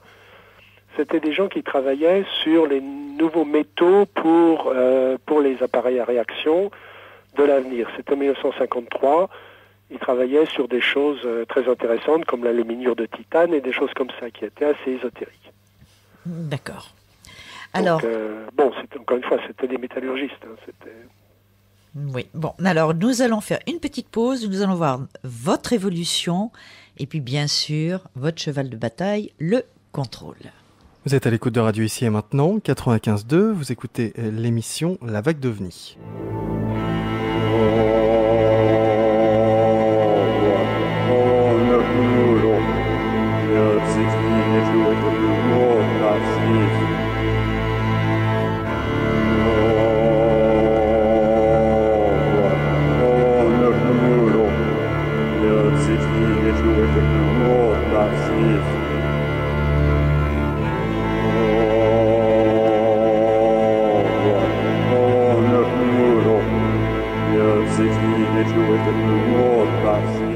Vous êtes à l'écoute de Radio Ici et Maintenant, 95.2, l'émission euh, La Vague d'OVNI. Notre invité aujourd'hui est Jacques Vallée. Il est interviewé par Marie-Thérèse de Brosse. Alors, il est bien évident que depuis le temps que vous vous intéressez aux ovnis, vous faites, ben, vous avez fait un certain nombre de d'allers-retours sur vos hypothèses du début. Maintenant, je crois que vous êtes un petit peu ferme sur vos positions, positions qui ne sont pas toujours très bien comprises par les ufologues. D'ailleurs, il faut tout de suite dire que vos rapports avec la communauté ufologique n'est pas toujours, toujours, toujours excellente. Certains vous portent au nu, d'autres euh, vous abordent littéralement, mais euh, vous n'avez pas manqué de les fustiger euh, assez violemment. Hein. Je regarde par exemple ce que vous dites dans votre livre. On y trouvait des, des cultes californiens dédiés aux mystérieux lémuriens, des organisations pseudo-scientifiques qui offrent des analyses complexes et des centaines de proclamations d'internautes qui affirmaient croire aux habitants de diverses planètes avec lesquels ils se trouvaient en contact direct, voire intime. Ce monde de fous, de charlatans et d'illuminés lançait régulièrement des attraques fraticides et des accusations virulentes contre les gouvernements qui dissimulaient des certitudes cosmiques. Alors, il est bien évident que euh, dans la communauté ufologique, il y a toute une, toute une partie qu'aux États-Unis on appelle la lunatic fringe, qui commence de plus en plus à avoir des adeptes en France d'ailleurs, où effectivement on voit les, croyances les plus insensées. Chez des gens, je fais une petite parenthèse, chez des gens dont on pourrait penser qu'ils avaient un, système intellectuel qui fonctionnait à peu près correctement. J'ai vu il n'y a pas très longtemps un physicien, c'est vrai, il était physicien, il s'était tapé huit années d'études de physique. Euh, il vit dans les croyances de Monsieur David Aiki, euh, persuadé que la Terre est, peuplée de reptiliens, que la reine d'Angleterre est un reptilien, etc. Euh, on, on, entend de tout et chez des gens dont on pourrait penser qu'ils se serviraient un petit peu de leur cerveau et il n'est pas question de discuter, c'est vrai. Ces gens-là ont leur certitude. Alors, vous avez ce côté-là, qui existe en France, mais phénomène qui arrive des États-Unis avec un petit peu de retard. Et puis, vous avez la grande mode, c'est le complot. Alors, le complot, euh, Jacques Vallée en parle euh, également, mais un petit peu différemment. La manipulation, on nous cache tout, les gouvernements euh, savent tout. Ça, ça fait partie des peut-être des hum, thématiques qui vous irritent, j'imagine. Alors là, vous soulevez plusieurs, tout un, tout un faisceau de problèmes qui sont à des, à des niveaux différents. Pour le, l'ufologie, la communauté, disons, ufologique, qui, n'est pas une communauté, hein, c'est un assemblage de, de, gens qui sont, qui sont très sérieux, qui font un travail admirable, de, gens qui sont simplement des croyants ou des illuminés, de gens qui utilisent ça pour d'autres raisons. Enfin, il y a, de tout. Hein. C'est comme, mais à la limite, c'est normal. Euh, si vous voulez, autour de la médecine, il y a aussi des charlatans, des illuminés, des gens qui croient qu'ils vont guérir le cancer en, mangeant des noix. Il y, a, tout ce qu'on veut. Donc, euh, c'est, à la limite, c'est normal en science de, euh, qu'il y ait des, passions qui soient déchaînées par différentes théories, etc. Pour moi, c'est pas euh, c'est pas un, concours de popularité. Hein. J'essaye pas d'être populaire, j'essaye pas d'être, j'essaye de poursuivre euh, ma, route et puis de partager ce que je trouve euh, au fur et à mesure. Dans les années 70, quand j'ai vu l'énorme euh, arrivée des cultes aux États-Unis sur la base d'abord du New Age, moi et des, euh, de, mouvements spirituels qui, qui à l'origine étaient admirables, euh, mais qui ont dérapé sur des croyances euh, comme Heaven's Gate, par exemple, comme si vous vous souvenez de tout, avait lancé une série de une série de cultes aux États-Unis, en particulier en Californie, en Californie et en Oregon, et j'avais essayé d'alerter justement la communauté ufologique sur ces dérapages ça avait été très mal reçu. Euh, on avait dit non, non, mais pensez-vous, ces gens-là, ils sont pas dangereux, ils sont marrants, etc. Dans, dans mon livre euh, sur la grande manipulation, euh, j'avais, euh, il y avait tout un chapitre qui s'appelait ça ne, vous ne risquez que la vie. C'était une citation direct d'un de ces leaders de, culte, de David, euh, euh, qui s'appelait Applewhite, euh, ah que j'avais entendu à Stanford, à l'université Stanford. Il recrutait des étudiants pour pour traverser, pour aller au niveau supérieur, etc. quelques années plus tard, ces gens-là se sont suicidés. Hein. C'était, ils sont devenus le, culte de Heaven's Gate et ils se sont suicidés à San Diego. Donc si vous voulez, mon, mon, bouquin était un petit peu euh, prémonitoire de cette, euh, de cette façon-là. J'avais essayé de tirer la sonnette d'alarme dès, euh, dès les années 70. Bon, aujourd'hui, ces cultes sont, sont, bien connus et on voit, comme vous le disiez, on voit des gens tout à fait rationnels se mettre à croire n'importe quoi. Mais vraiment n'importe quoi. Il y a un phénomène de, de crédulité qui est absolument extraordinaire qui est doublé d'une intolérance non moins extraordinaire, si on n'abonde pas dans une intolérance extraordinaire, oui, mais ça, ça s'explique, je crois, par un besoin psychologique. On est dans un monde qui change très vite, on est dans un monde dangereux, euh, on est dans un monde imprévisible, euh, même, même au niveau industriel, enfin au niveau économique, au niveau scientifique. Les gens sont un petit peu euh, déracinés par ça et beaucoup de gens ont besoin d'une certitude et ce serait quand même chouette si les extraterrestres venaient euh, sur la Terre euh, nous mettre un petit peu d'ordre dans tout ça. Donc une fois qu'on croit à ça, c'est un phénomène de croyance qui, qui est un, un, indéracinable. Et dès que quelqu'un met cette croyance en doute en disant attendez, il y a peut-être d'autres hypothèses, il faudrait, faudrait des hypothèses qu'on puisse tester, et puis regardez, ça n'explique pas les observations, euh, il y a quand même d'autres choses. Euh, à ce moment-là, vous êtes l'ennemi, vous êtes, euh, vous êtes un hérétique. Les hérétiques, on sait ce qu'on leur fait. Hein. oui. Mais alors justement, moi j'étais très surprise de voir que vous publiez ce roman euh, sur les ovnis, dans la mesure où vous aviez quand même, pendant assez longtemps, pris votre distance du milieu ufologique. On va parler tout à l'heure de votre rôle à NIDS, on va parler de NIDS, mais vous avez bien dit que vous vouliez vous retiriez de la scène ufologique. Vous l'avez annoncé. Oui, mais je n'ai jamais dit que je me retirais des recherches. Euh, il y a des périodes, euh, c'est euh, un proverbe chinois que Alan Hynek citait souvent, il y a un temps pour pêcher et il y a un temps pour réparer les filets. Et la, scène ufologique telle qu'elle était euh, il y a dix ans euh, était dans une confusion totale et il était inutile de. J'avais dit ce que j'avais à dire, hein, donc euh, je voulais reprendre et je l'ai dit clairement. Je voulais revenir vers les témoins. C'est les témoins qui m'apprennent des choses. Hein. J'essaye de de les rencontrer, de passer du temps avec eux, de comprendre ce qui s'est passé, de préférence dans des cas qui n'ont pas été rapportés à la presse euh, dans des cas qui sont restés euh, confidentiels. Parce que oui, donc qui n'ont pas, pas, été déformés, parce que moi j'ai trop bien vu les, les, les cas que j'ai étudiés, la grande différence entre le, le vécu, pour autant qu'on puisse l'approcher, du témoin et ce qui est publié, c'est quelquefois hallucinant comme différence. Ah oui, c'est totalement déformé. D'abord parce que pour les médias, la question est très simple. Les médias ont besoin de polariser la question. Donc, ou bien euh, c'est des hallucinations, des fous, etc. Ou alors on est visité par des aliens. Et entre les deux, il n'y a rien. Donc, euh, euh, il n'y a absolument aucune validité scientifique dans ce genre de choses. C'est pas du tout un sujet qui est polarisé. On sait très bien que 80% ou 90% des observations sont explicables par toute une série de causes naturelles. Et puis il reste un, il reste un, un, un résidu, résidu, inexpliqué sur lequel il faut ouvrir l'éventail des hypothèses. Alors une des hypothèses, vous parliez de mon, de mon évolution, euh, au début, il est clair que pour moi, la meilleure hypothèse, c'était l'hypothèse extraterrestre. Euh, et c'était clair dans mes, mes deux premiers livres.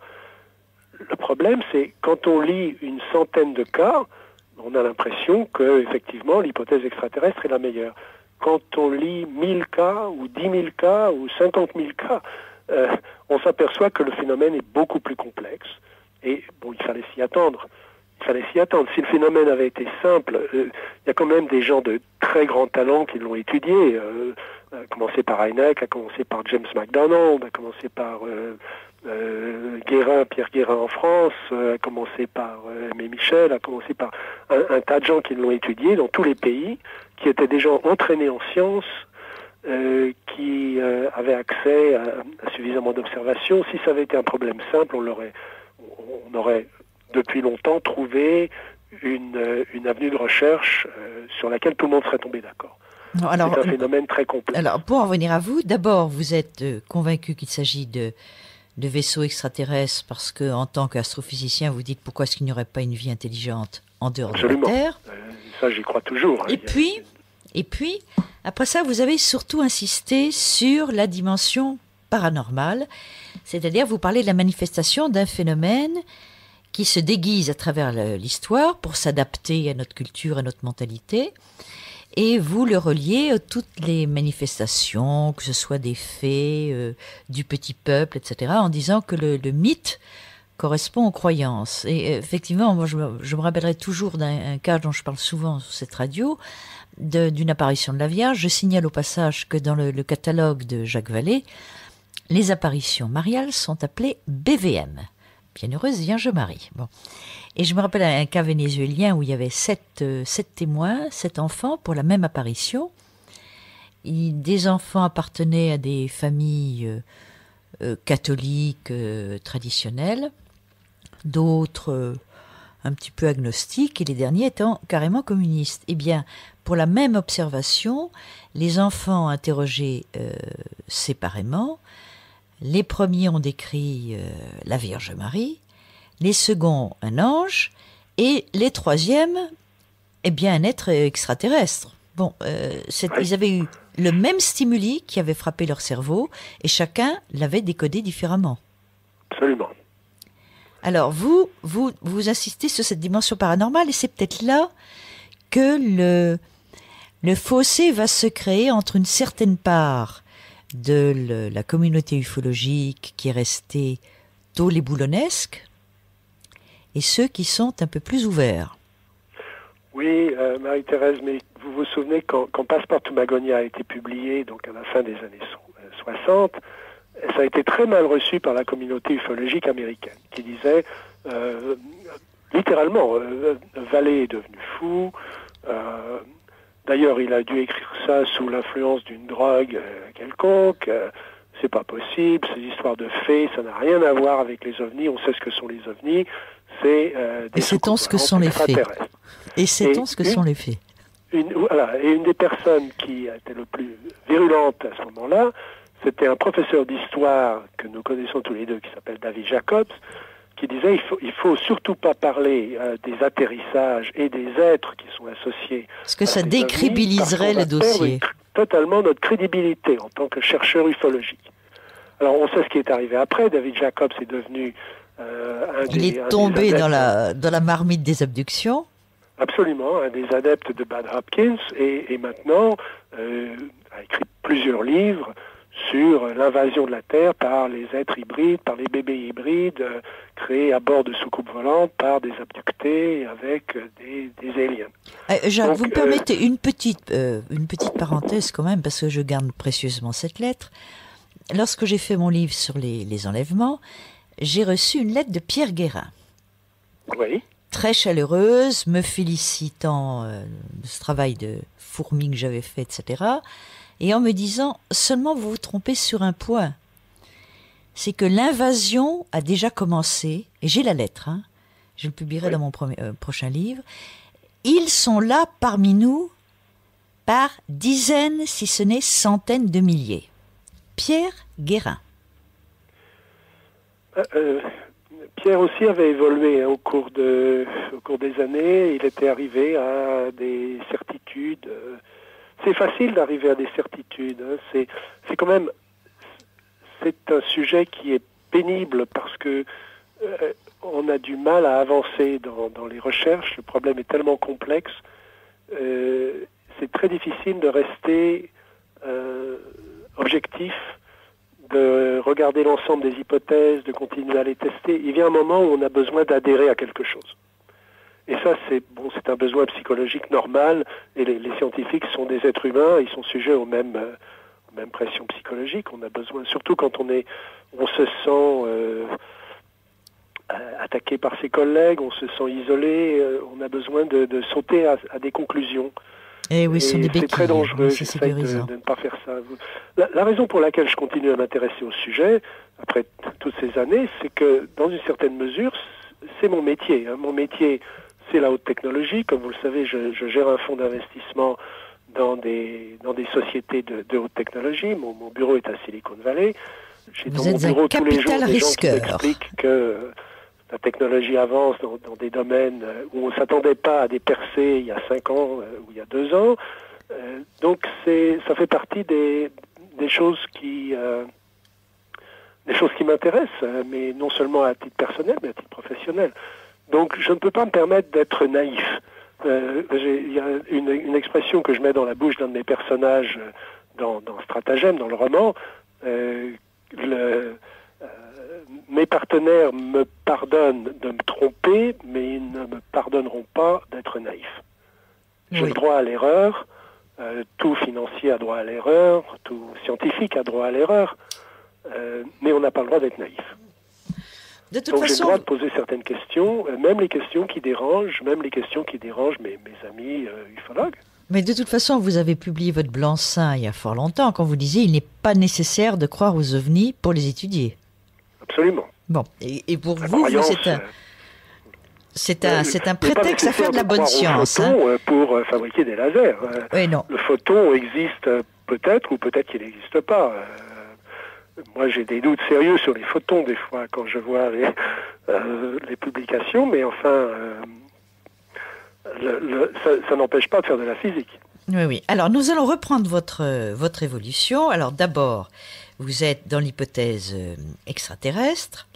Ensuite, à partir, si je me trompe, dites-le moi, à partir des années 68, vous dites que le, on trouve des constantes du phénomène ovni à travers le folklore, donc depuis l'aube de l'humanité, enfin depuis euh, tout au moins l'écriture en tout cas. Et après ça, ça c'est votre grande, grande, grande idée, et beaucoup de gens se sont cassés le nez dessus, maintenant ça commence à être un peu plus clair. Vous expliquez que le phénomène serait une sorte de système de contrôle, plus qu'une manifestation de visiteurs, qui se manifeste toujours encore une fois depuis l'aube de l'humanité en se déguisant. Alors, c'est cette, euh, cette notion de système de contrôle dont nous allons parler maintenant. D'accord. Parce que euh, vous dites, n'est-ce pas, que le, phénomène se, se camoufle, s'adapte à la culture ambiante pour être reçu et perçu, mais vous dites également que c'est comme s'il existait sur la Terre depuis toujours quelque chose d'inconnu qui influe sur l'humanité et qui modifie le psychisme. Vous, dites, vous, dites, vous direz plus tard que ça euh, modifie l'évolution future de l'homme. Hein. Alors d'abord, euh, cette évolution des hypothèses, d'abord l'hypothèse extraterrestre, elle, est toujours là. Hein. C'est toujours une des hypothèses. bien sûr, le, cosmos est assez grand pour autoriser euh, toutes les hypothèses. Donc on ne peut jamais l'exclure. Ce que j'essaye de faire, c'est de mettre l'accent sur le fait qu'il y a d'autres hypothèses qui peut-être euh, s'adaptent mieux à ce que nous disent les témoins. Encore une fois, tout ce que je fais part de ce que les témoins me racontent, parce que eux, ils étaient là, moi, j'y étais pas. Hein. Donc, euh, j'essaye de, de, passer beaucoup de temps avec eux, de les comprendre, de rentrer dans leur univers. Je leur demande, je repose plusieurs fois les mêmes questions. J'essaye de, de, vraiment de, déchiffrer avec eux cette, cette, énigme devant laquelle ils se trouvent. Oui, mais Jacques, vous savez bien que le, le, ce qu'ils disent.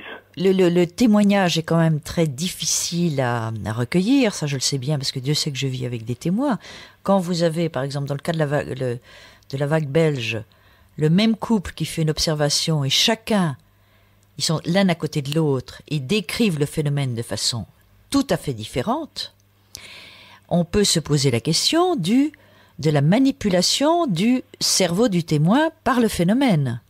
Ben, c'est pour ça que c'est intéressant, c'est pour ça que le phénomène ovni est intéressant, c'est qu'il pose des questions sur ce qu'est la réalité, il pose des questions fondamentales sur ce qu'est la conscience, la conscience humaine, et euh, sur, euh, ben, sur notre place dans, dans l'univers, tout simplement, et sur notre histoire. Donc c'est, c'est pour ça que, en fait, euh, si on pouvait souhaiter vraiment une évolution dans les milieux universitaires, c'est vraiment le sujet par définition qui est multidisciplinaire. C'est un sujet dans lequel des sociologues, des psychologues, des psychiatres euh, devraient être impliqués autant que, euh, que des, physiciens ou des astronomes. les témoins me disent qu'ils ont vu quelque chose et décrivent un objet, mais ils décrivent aussi, si on les laisse parler, et souvent on ne les laisse pas parler, mais si on les laisse parler, ils décrivent un certain nombre d'impacts euh, au niveau psychique. Alors là, il faut définir le mot psychique parce que c'est très mal pris par beaucoup de gens, c'est compris de différentes façons. Pour moi, le mot psychique, peut-être une déformation de, ce que ça veut dire aux États-Unis, en américain, c'est simplement la relation entre l'univers physique et la conscience humaine. Ça n'implique pas nécessairement un phénomène paranormal. Euh, le, psychisme, euh, c'est la façon dont nous percevons le monde physique et, notre interaction avec le monde physique à travers la conscience humaine euh, qui elle-même reste à définir. Hein. Le, donc on arrive très vite à des, à des questions qui sont difficiles, qui sont très personnelles pour les témoins. C'est leur croyance, leur et, secouer. Souvent, leur vie change d'une façon radicale à la suite de l'observation. Et euh, j'essaye de, comprendre donc cet ensemble. Le, tout se passe comme si, alors quand on parle d'un système de contrôle, ça ne veut pas dire nécessairement qu'il y a quelqu'un assis dans un laboratoire en tournant des boutons pour euh, gouverner euh, l'avenir de l'humanité. C'est pas du tout ça que je veux dire. Il y a des systèmes de contrôle ouverts, il y a des systèmes de contrôle fermés, il y a des systèmes de contrôle naturels et il y a des systèmes de contrôle artificiels. Euh, prenez euh, l'écologie, par exemple, l'environnement. Euh, pendant très longtemps, il, a fallu très longtemps aux scientifiques pour comprendre que la Terre était en fait un ensemble où tous les phénomènes étaient liés, où un ouragan aux Caraïbes pouvait déclencher une vague de froid sur la Sibérie, etc. Le fameux effet de Le réchauffement du Pacifique pouvait déclencher des phénomènes à l'échelle planétaire, etc. Donc qu'il y avait un système de contrôle général au niveau de la planète. Euh, des gens comme euh, euh, des psychiatres, des psychologues comme Carl Jung ont parlé de l'inconscient collectif. L'inconscient collectif, pour moi, représente, peut se représenter comme un système de contrôle au niveau, au niveau des idées, au niveau des, des perceptions, au niveau de la conscience générale de l'humanité qui génère elle-même non seulement les mythes et les légendes et les croyances, mais génère aussi euh, la façon dont nous percevons les, les choses de tous les jours. Et dont, nous organisons ce qu'on appelle la réalité. Hein. La réalité n'étant pas forcément la à la fois dans notre euh, conscient et dans notre inconscient, dans les rêves, euh, etc. Donc, c'est pour ça que je pense que quand un phénomène est connu par le public mais qu'il est réprimé, comme l'étaient par exemple euh, les observations qui auraient pu être faites au Moyen Âge quand le phénomène de répression était l'Église.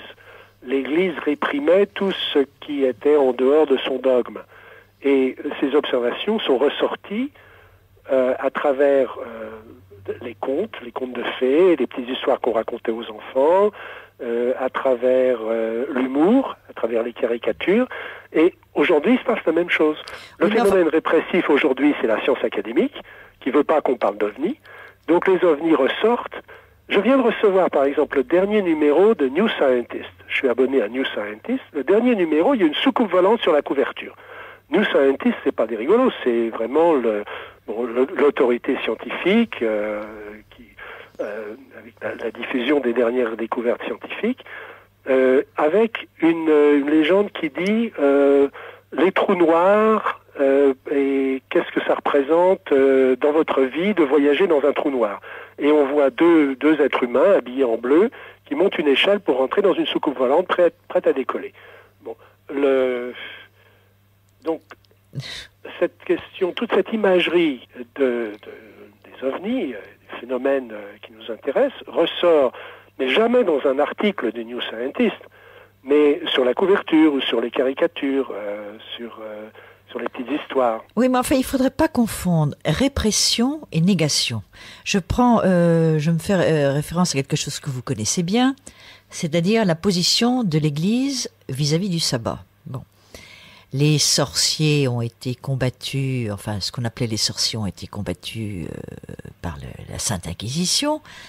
Malheureusement, ils nous ont pas laissé grand témoignage parce que les seuls témoignages qu'on ait, ce sont ceux de l'Inquisition et c'est pas les témoignages des sorciers. Mais il était bien précisé dans, dans les textes que l'Église semblait croire à la réalité du vol du sabbat. Oui. Oui, tout à fait. Donc, hein, c'était interdit de se rendre au sabbat, de chevaucher son balai, ou, etc. Mais l'Église reconnaissait qu'il était possible de se rendre au sabbat. Par des moyens non naturels qu'en rentrant euh, chez vous le soir, euh, vous aviez vu euh, un objet rougeâtre posé sur des piliers, et puis qu'autour il y avait des, petites créatures qui dansaient, qui vous ont qui vous ont invité à danser avec elles et qui vous ont donné à manger. Et puis après, vous êtes revenu, vous êtes arrivé chez vous avec une heure de retard, et vous racontez ça à votre curé, ça aurait été très mal vu et vous vous exposiez à toute une série d'enquêtes euh, particulièrement douloureuses, euh, voire à des tortures euh, pour s'assurer que les petits êtres en question, parce que les petits êtres en question, ils n'avaient pas tellement de place dans le, dans le dogme de l'époque. Hein. De même qu'ils n'ont pas tellement de place dans le dogme scientifique aujourd'hui. C'est pas parce qu'on n'en parle pas qu'on nie leur existence, je crois. Moi, j'ai l'impression d'être beaucoup plus plus ouverte. Il se trouve que j'ai passé pas mal de temps dans les, pays musulmans, là, euh, récemment. Et euh, je me suis beaucoup intéressée au jnoun, c'était le pluriel de djinn. Oui. Et j'ai été tout à fait fascinée par la similitude des récits d'enlèvement par les Jnouns et qui correspondent tout à fait aux récits euh, d'enlèvement qu'on me raconte, euh, qu'on me raconte tout le temps euh, quand je vais aux États-Unis et maintenant qu'on commence à me raconter en France, mais enfin ça c'est un autre sujet. Donc, ce sont des phénomènes qui ne sont pas niés. Mais ils sont niés par. C'est différent de dire quelque chose n'existe pas ou il ne faut pas faire ça. Enfin, c'est quand même très différent. Oui, mais c'est nié par l'autorité. Ce qui, ce qui fait autorité aujourd'hui qui n'est plus l'autorité religieuse, mais l'autorité scientifique. Alors, vous appelez l'Observatoire de Paris en leur disant que vous avez vu passer un très bel ovni qui s'est posé dans votre jardin et qu'il en est sorti des petits êtres euh, euh, et qui vous ont, qui vous ont donné une, euh, quelque chose à manger, je ne crois pas que vous serez invité à dîner avec le directeur. Oui, mais enfin, quand Monsieur Renato Nicolai a vu euh, une soucoupe se posait dans son jardin. On a quand même appelé le, professeur Bougnos, qui était quand même pas le, dernier des scientifiques, pour aller examiner les traces au sol. Et il a fait un, il a fait un travail qui peut rester comme un modèle dans le, dans le cadre de, l'analyse des traces au sol. Tout à fait. Ça, c'est tout à l'honneur de, des, services scientifiques français qui, qui ont eu l'honnêteté de, de garder ce, ce projet ouvert euh, et, et de de, recueillir ce genre d'observation. Donc, même si c'est le phénomène est nié, il n'est pas complètement nié, sinon on n'aurait pas euh, dépêché un scientifique pour aller analyser les traces au sol. Si par définition on n'y croit pas, bon monsieur, vous avez halluciné, euh, vous avez fait un, vous avez fait un rond dans votre jardin. Là, non, on envoie un scientifique qui fait un travail très pointu d'analyse. Donc c'est qu'il y a une petite porte ouverte quand même pour une certaine euh, honnêteté intellectuelle. C'est vrai. Et aux États-Unis, après la fermeture du projet Blue Book, euh, si vous interrogez l'Air Force, ils vous disent on n'a plus de projet qui s'intéresse aux ovnis. Cela étant, s'il passe un ovni aujourd'hui au-dessus de San Francisco, il y aura, deux F-16 qui vont décoller et, qui vont euh, qui vont essayer de l'identifier et qui vont euh, essayer d'en prendre des photos, etc. il est clair que ça reste de, la mission des, des, services militaires d'identifier tout ce qui vole au-dessus d'un pays quelconque. Donc le, on n'échappe pas à ça. Donc le, phénomène n'est pas nié dans la mesure où il déclenche euh, nos, euh, nos capteurs, dans la mesure où il est détecté, dans la mesure où il s'inscrit dans un programme de, de surveillance ou d'études, euh, etc. Mais revenons au, système de contrôle quand même, parce que le, le, le, sujet est, est quand même très vaste. Tout se passe comme s'il y avait un phénomène qui, euh, qui avait une interaction profonde avec la conscience humaine. Donc c'est un phénomène, est-il physique? Oui, bien sûr, il est physique. Il, occupe une certaine place dans l'espace, euh, il émet des radiations, euh, il cause des, traces sur le sol, comme on l'a vu à Trans-en-Provence, il émet de la chaleur, il est, il est photographiable, pas toujours, mais enfin il est photographiable, il est détectable au radar, pas toujours, mais il est quand même souvent détectable au radar. Il occupe une position dans l'espace. Et puis dans certains cas, même, je crois que vous avez fait un travail qui, qui pouvait donner l'énergie que développait un, que pouvait développer tout à fait. Il y a toute, euh, on a dans beaucoup de cas toute l'information nécessaire, sans, tout en réservant les conclusions sur la nature du phénomène, euh, pour euh, faire une étude physique classique, c'est-à-dire calculer le, calculer la puissance euh, optique, par exemple, développée par le phénomène. Euh, pour calculer, il y a des, calculs qui ont été faits par, euh, par Poer et par Velasco au cours des, développements du, du GEPAN. ça a été fait dans d'autres pays. J'ai essayé de le généraliser à d'autres, d'autres cas. On a des cas comme ça aux États-Unis où on a des mesures suffisamment précises de luminosité pour calculer l'énergie émise par le phénomène. Et vous de même qu'on a des échantillons métalliques qui sont restés après une observation d'OVNI qu'on peut étudier, on peut faire l'analyse des, ah. éléments. Euh, moi, j'en ai, j'en ai une petite collection. Justement, ça, nous allons parler de ça euh, plus tard parce que ça, c'est très important hein, quand nous parlerons de Pocantico et des bon. Mais nous allons, nous revenons euh, pour l'instant pour essayer de bâtir un petit peu parce qu'avec vous, on peut parler 100 ans. C'est tellement rare de vous avoir. Profitons-en. Le... Revenons sur votre théorie du système de contrôle parce que vous ajoutez une précision. Vous dites que ce, ce phénomène est capable de manipuler l'espace et le temps. Ça, c'est pas moi qui le dis, c'est les témoins qui me le disent. Hein. Ils disent que, bon, on a vu euh, je leur dis, bon, d'où il est venu cet objet? Bah, euh, Souvent, il est apparu sur place, où on a vu un éclair, et puis cet éclair s'est allongé, est devenu un ray de lumière, et puis le ray de lumière est devenu une espèce de disque de lumière, et puis ce disque de lumière est devenu un objet physique euh, qui, qui, a évolué dans, dans l'atmosphère, et puis euh, il y a des objets qui ont été décrits comme euh, s'effaçant sur place, devenant transparents et, disparaissant sur place. Euh, bon, si si c'est vrai, ça veut dire d'une part que nos idées sur l'espace et le temps, que l'espace et le temps c'est la même chose, hein, c'est le, continuum, que nos idées classiques sont fausses, mais ça on le savait déjà. Hein. On le savait déjà si on fait un peu de cosmologie. Et, on ne le savait pas à cause des ovnis, mais on le savait à cause de, l'astrophysique et à cause de, euh, des, nouvelles théories sur les particules élémentaires. Donc il est clair que euh, les, trois vieilles dimensions de l'espace et la dimension du temps, ça ne marche pas pour vraiment expliquer euh, l'univers tel qu'on le connaît. Donc aujourd'hui, ce, qui, était une idée marginale dans la physique d'il y a 20 ans, quand on a commencé à parler de tout ça, est aujourd'hui au centre de la physique. Hein, c'est clair. Euh, à cause des trous noirs, à cause de la euh, de, la, matière noire, à cause, de, du fait qu'on a perdu 90% de la masse de, l'univers, comme le dit Jean-Pierre Petit, etc. Donc euh, toutes ces questions-là sont au centre de la physique moderne. Et puis surtout l'idée qu'on puisse concevoir un univers avec un nombre X de dimensions, parce que selon les, euh, les scientifiques, on voit 7, 12, 13. Vous m'avez même parlé une fois, ça m'avait beaucoup surprise d'ailleurs, d'un chercheur qui imaginait un univers à, je ne sais plus exactement, mais il y avait une virgule, 13,5. Alors la virgule, ça me fait particulièrement étonné. Est-ce qu'on a besoin d'un nombre fini de dimensions? Oui, bien sûr, 13,7 dimensions. Mécanique quantique suppose une infinité de dimensions. Alors y a, on, peut, on, peut, on doit pouvoir s'entendre. Oui. Et alors, ça, ça, permettrait de résoudre ce nombre de dimensions qu'on rajoute à nos dimensions classiques, permettrait de quand même de résoudre différents problèmes que la, que la physique ne pouvait pas résoudre quand elle restait figée dans notre conception habituelle du monde. Alors ça, c'est pas les ufologues qui le disent. Ah non, c'est pas les C'est vraiment la théorie des cordes euh, qui essaye d'expliquer euh, à la fois les phénomènes de, particules élémentaires et euh, les phénomènes cosmologiques. Alors la théorie des cordes, elle a aussi ses partisans et ses détracteurs, euh, mais enfin, il est clair que c'est dans cette direction-là que les recherches euh, s'orientent.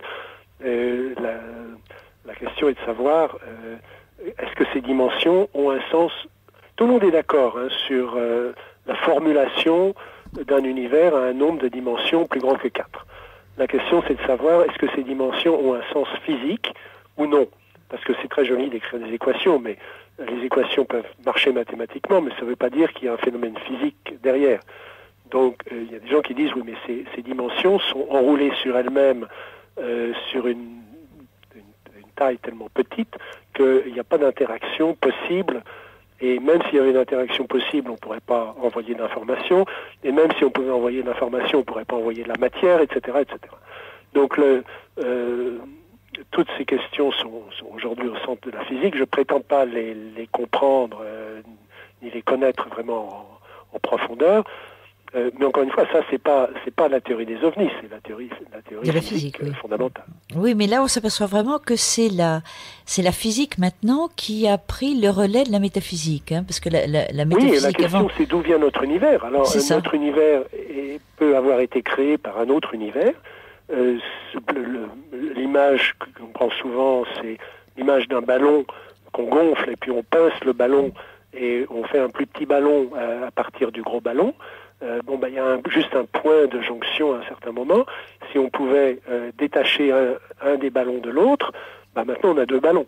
Donc est-ce que les univers se créent les uns les autres avec des nombres arbitraires de dimensions? Donc il y, aura des univers qui ne sont pas viables parce qu'ils n'ont pas assez de dimensions. Il y en a d'autres qui auraient plus de dimensions que le nôtre. Il y aurait peut-être un autre univers comme le nôtre qui serait à 5 minutes en avance euh, ou à 5 minutes en retard. Donc il y aurait comme une théorie de l'évolution. Euh, il y aurait une théorie de l'évolution. Alors les, les, systèmes qui ne marchent pas s'élimineraient et on arriverait. Oui, absolument. Absolument, mais ça, encore une fois, on le lit dans les publications physiques. Hein, c'est pas, alors, certains ufologues m'amusent quand ils disent oui, mais il ne faut pas parler de ça parce qu'on va être ridiculisé si on parle d'univers parallèle. Bah, les univers parallèles, à Stanford, dans les séminaires de physique, on en parle tous les jours. Hein. Ça, c'est et, on n'en parle pas à propos d'OVNI, on en parle à propos de à propos du Big Bang, à propos des, particules élémentaires, etc.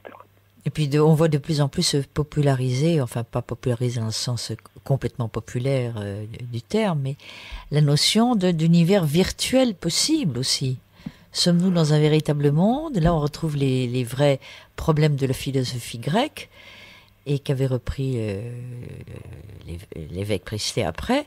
L'univers est-il réel ou sommes-nous dans le rêve d'un dieu qui pense le monde Enfin, c'est comme ça que les, Grecs le formulaient. Ou, comme, euh, comme les, mystiques arabes du Xe et du XIe siècle, une espèce d'univers d'information à partir duquel l'univers physique est créé de seconde en seconde. Et c'est ça, et on voit bien maintenant ces interrogations commencer à, prendre forme euh, beaucoup plus clairement maintenant. Hein. Ce ne sont plus des, spéculations extravagantes. Alors, ce, système de contrôle sur lequel vous êtes excessivement euh, prudent, hein, comment pouvez-vous le définir d'ailleurs? Je pense que vous ne pouvez pas. Vous constatez qu'il y a une sorte de système de contrôle qui manipule non seulement le, les notions de temps et d'espace, mais, qui, manipule le psychisme des témoins, manipule la conscience des témoins. Et alors, quand on, quand on vous fait remarquer que maintenant, les gens qui, qui sont des témoins des RR4 ou 5 ont une autre forme de conscience, ils sont plus accessibles aux notions euh, d'écologie, par exemple, est-ce que vous voyez euh, un lien de cause à effet? Je, ne sais pas. Je ne sais pas. Je crois que ce qui est intéressant dans l'hypothèse d'un système de contrôle, c'est supposer qu'on soit enfermé dans une pièce et qu'on s'aperçoive que la température de la pièce reste constante, bien qu'à l'extérieur, on voit le soleil, puis le soleil se couche, et puis il neige, et puis le soleil revient, etc. Et que on, se dit à l'extérieur, la température change, mais à l'intérieur, elle ne change pas. On viendrait rapidement à la conclusion qu'il y a un système de contrôle dans la pièce. À ce moment-là, on peut commencer à chercher euh, où est-ce qu'il est ce système de contrôle. Par exemple, s'il y a des ouvertures dans la pièce, on peut voir s'il y a de l'air froid qui, rentre à certains, un certain moment ou de l'air chaud qui sort. on peut voir si la température du plancher euh, change avec le jour et la nuit, par exemple. Il y a des tas de tests qu'on peut commencer à faire à partir du moment où on subodore qu'on se trouve dans un système de contrôle, qu'il soit naturel ou artificiel, encore une fois, là on ne peut pas trancher, euh, on peut commencer à faire, à faire de la science. C'est-à-dire on sort de, l'idée simplement d'une croyance, on peut commencer à faire des tests. Donc c'est-à-dire il faut agir pour vérifier, il faut agir pour voir s'il y a vraiment un système de contrôle. Absolument. Il faut pas laisser, faut pas attendre. Euh, à la limite, euh, bon, supposons qu'il y a un radiateur dans la pièce, on ne sait pas exactement ce que ça fait ce radiateur, ben, on casse le radiateur on casse le radiateur ou, on allume, on met le feu à, une chaise, par exemple. On essaye de, voir comment le système va réagir. On fait quelque chose. Et pour moi, moi, ce qui m'a, ce qui, ce qui est frustrant dans cette étude des ovnis, c'est qu'on est passif. C'est-à-dire, on va, on va sur le terrain. Bon, c'est bien. On peut installer des, caméras, des appareils, euh, etc. Mais c'est quand même quelque chose de passif. On attend que le phénomène se manifeste. Ah, on n'est pas dans les, dans les cas. une hypothèse comme on fait en science, qui permettent d'agir, qui permettent de faire une manip. Et c'est ça que je voudrais faire un jour. Ah Est-ce que vous avez une idée comment pourrait-on agir? Parce que là, on n'est pas dans le cadre de la, méthode expérimentale de Claude Bernard, hein, parce qu'il faut que le phénomène soit là. Bah, je crois que ce serait très dangereux. Ce serait très dangereux. Euh, c'est un petit peu pour ça que dans, dans Stratagème, j'ai mis en... Euh, j'ai lancé un personnage qui n'a rien à perdre, qui, n'a peur de rien parce que sa vie personnelle a été tellement bouleversée qu'il est prêt à aller jusqu'au bout de n'importe quoi. De risquer sa vie, de risquer sa fortune. Euh, comme il connaît beaucoup de gens, il peut aller très loin. Euh, les services de renseignement lui font pas peur, les militaires lui font pas peur. Euh, il va vraiment aller jusqu'au bout, il va faire n'importe quoi. et j'ai essayé de montrer un petit peu comment on pouvait essayer de faire ce genre de manip. Ah, et d'ailleurs, il va se livrer une, à une manipulation. Mais on va revenir à votre, votre roman après, hein, Jacques, si vous voulez bien. Ça, rejoint au système de contrôle, si vous voulez. C'est ça, oui. un clin d'œil euh, dans ce sens-là. C'est-à-dire, qu'est-ce qu'on pourrait faire? Alors, nous allons faire une petite pause et nous allons revenir après, puisque vous avez été un des. Euh, vous, avez fait vous avez participé à la conférence de Pocantico. On va regarder les retombées, ce que vous avez amené comme preuve concrète, puisqu'on vous accuse toujours de, de penser que les, d'avoir pris votre distance vis-à-vis des phénomènes ovnis. On va voir que quand même vous y intéressez comme, bien comme étant entre autres un phénomène physique.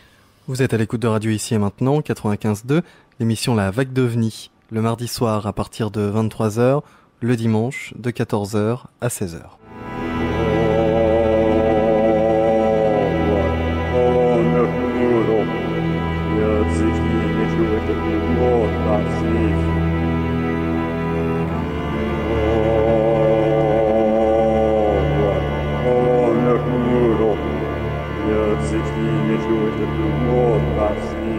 Vous écoutez Radio Ici et Maintenant 95.2, l'émission La Vague d'OVNI. Euh, Jacques Vallée est interviewé par Marie-Thérèse de Brosse.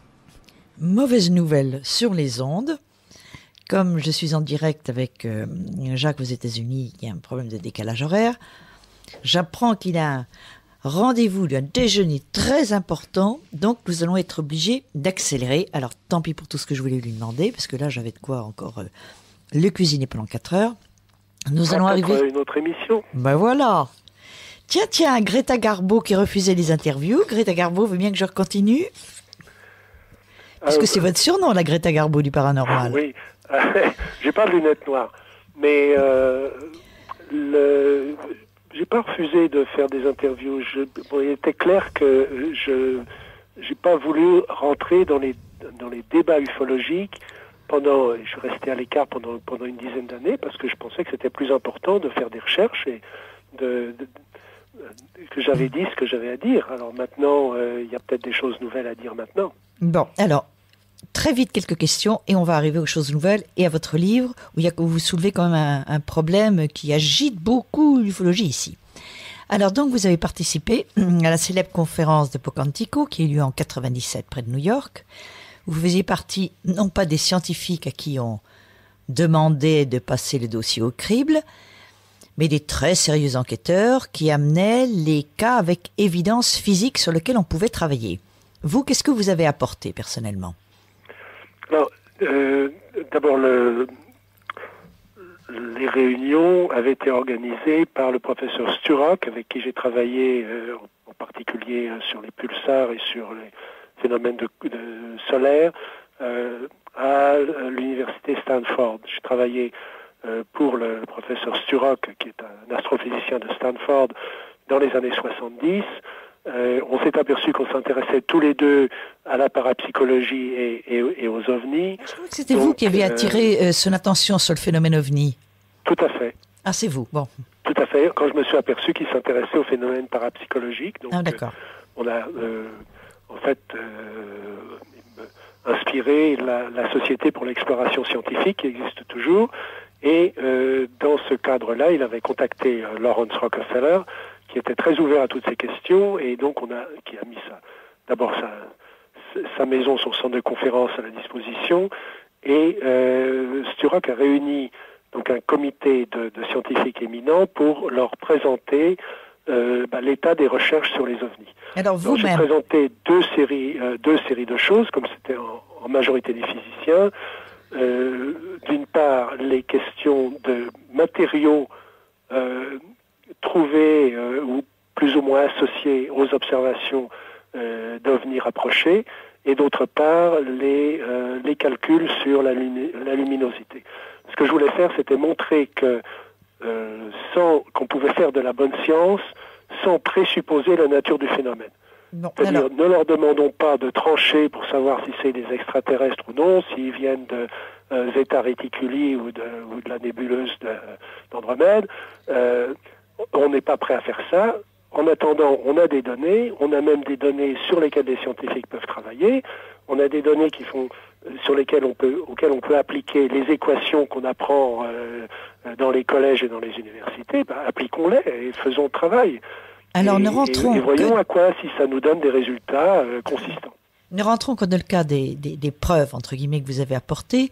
Ces matériaux ont-ils fourni à l'analyse des indices suffisamment troublants pour qu'on se dise c'est quand même pas très normal cette histoire-là Alors les analyses, euh, en tout cas celles que dont j'ai connaissance et celles que j'ai faites euh, personnellement, euh, montrent des éléments qui sont des éléments terrestres.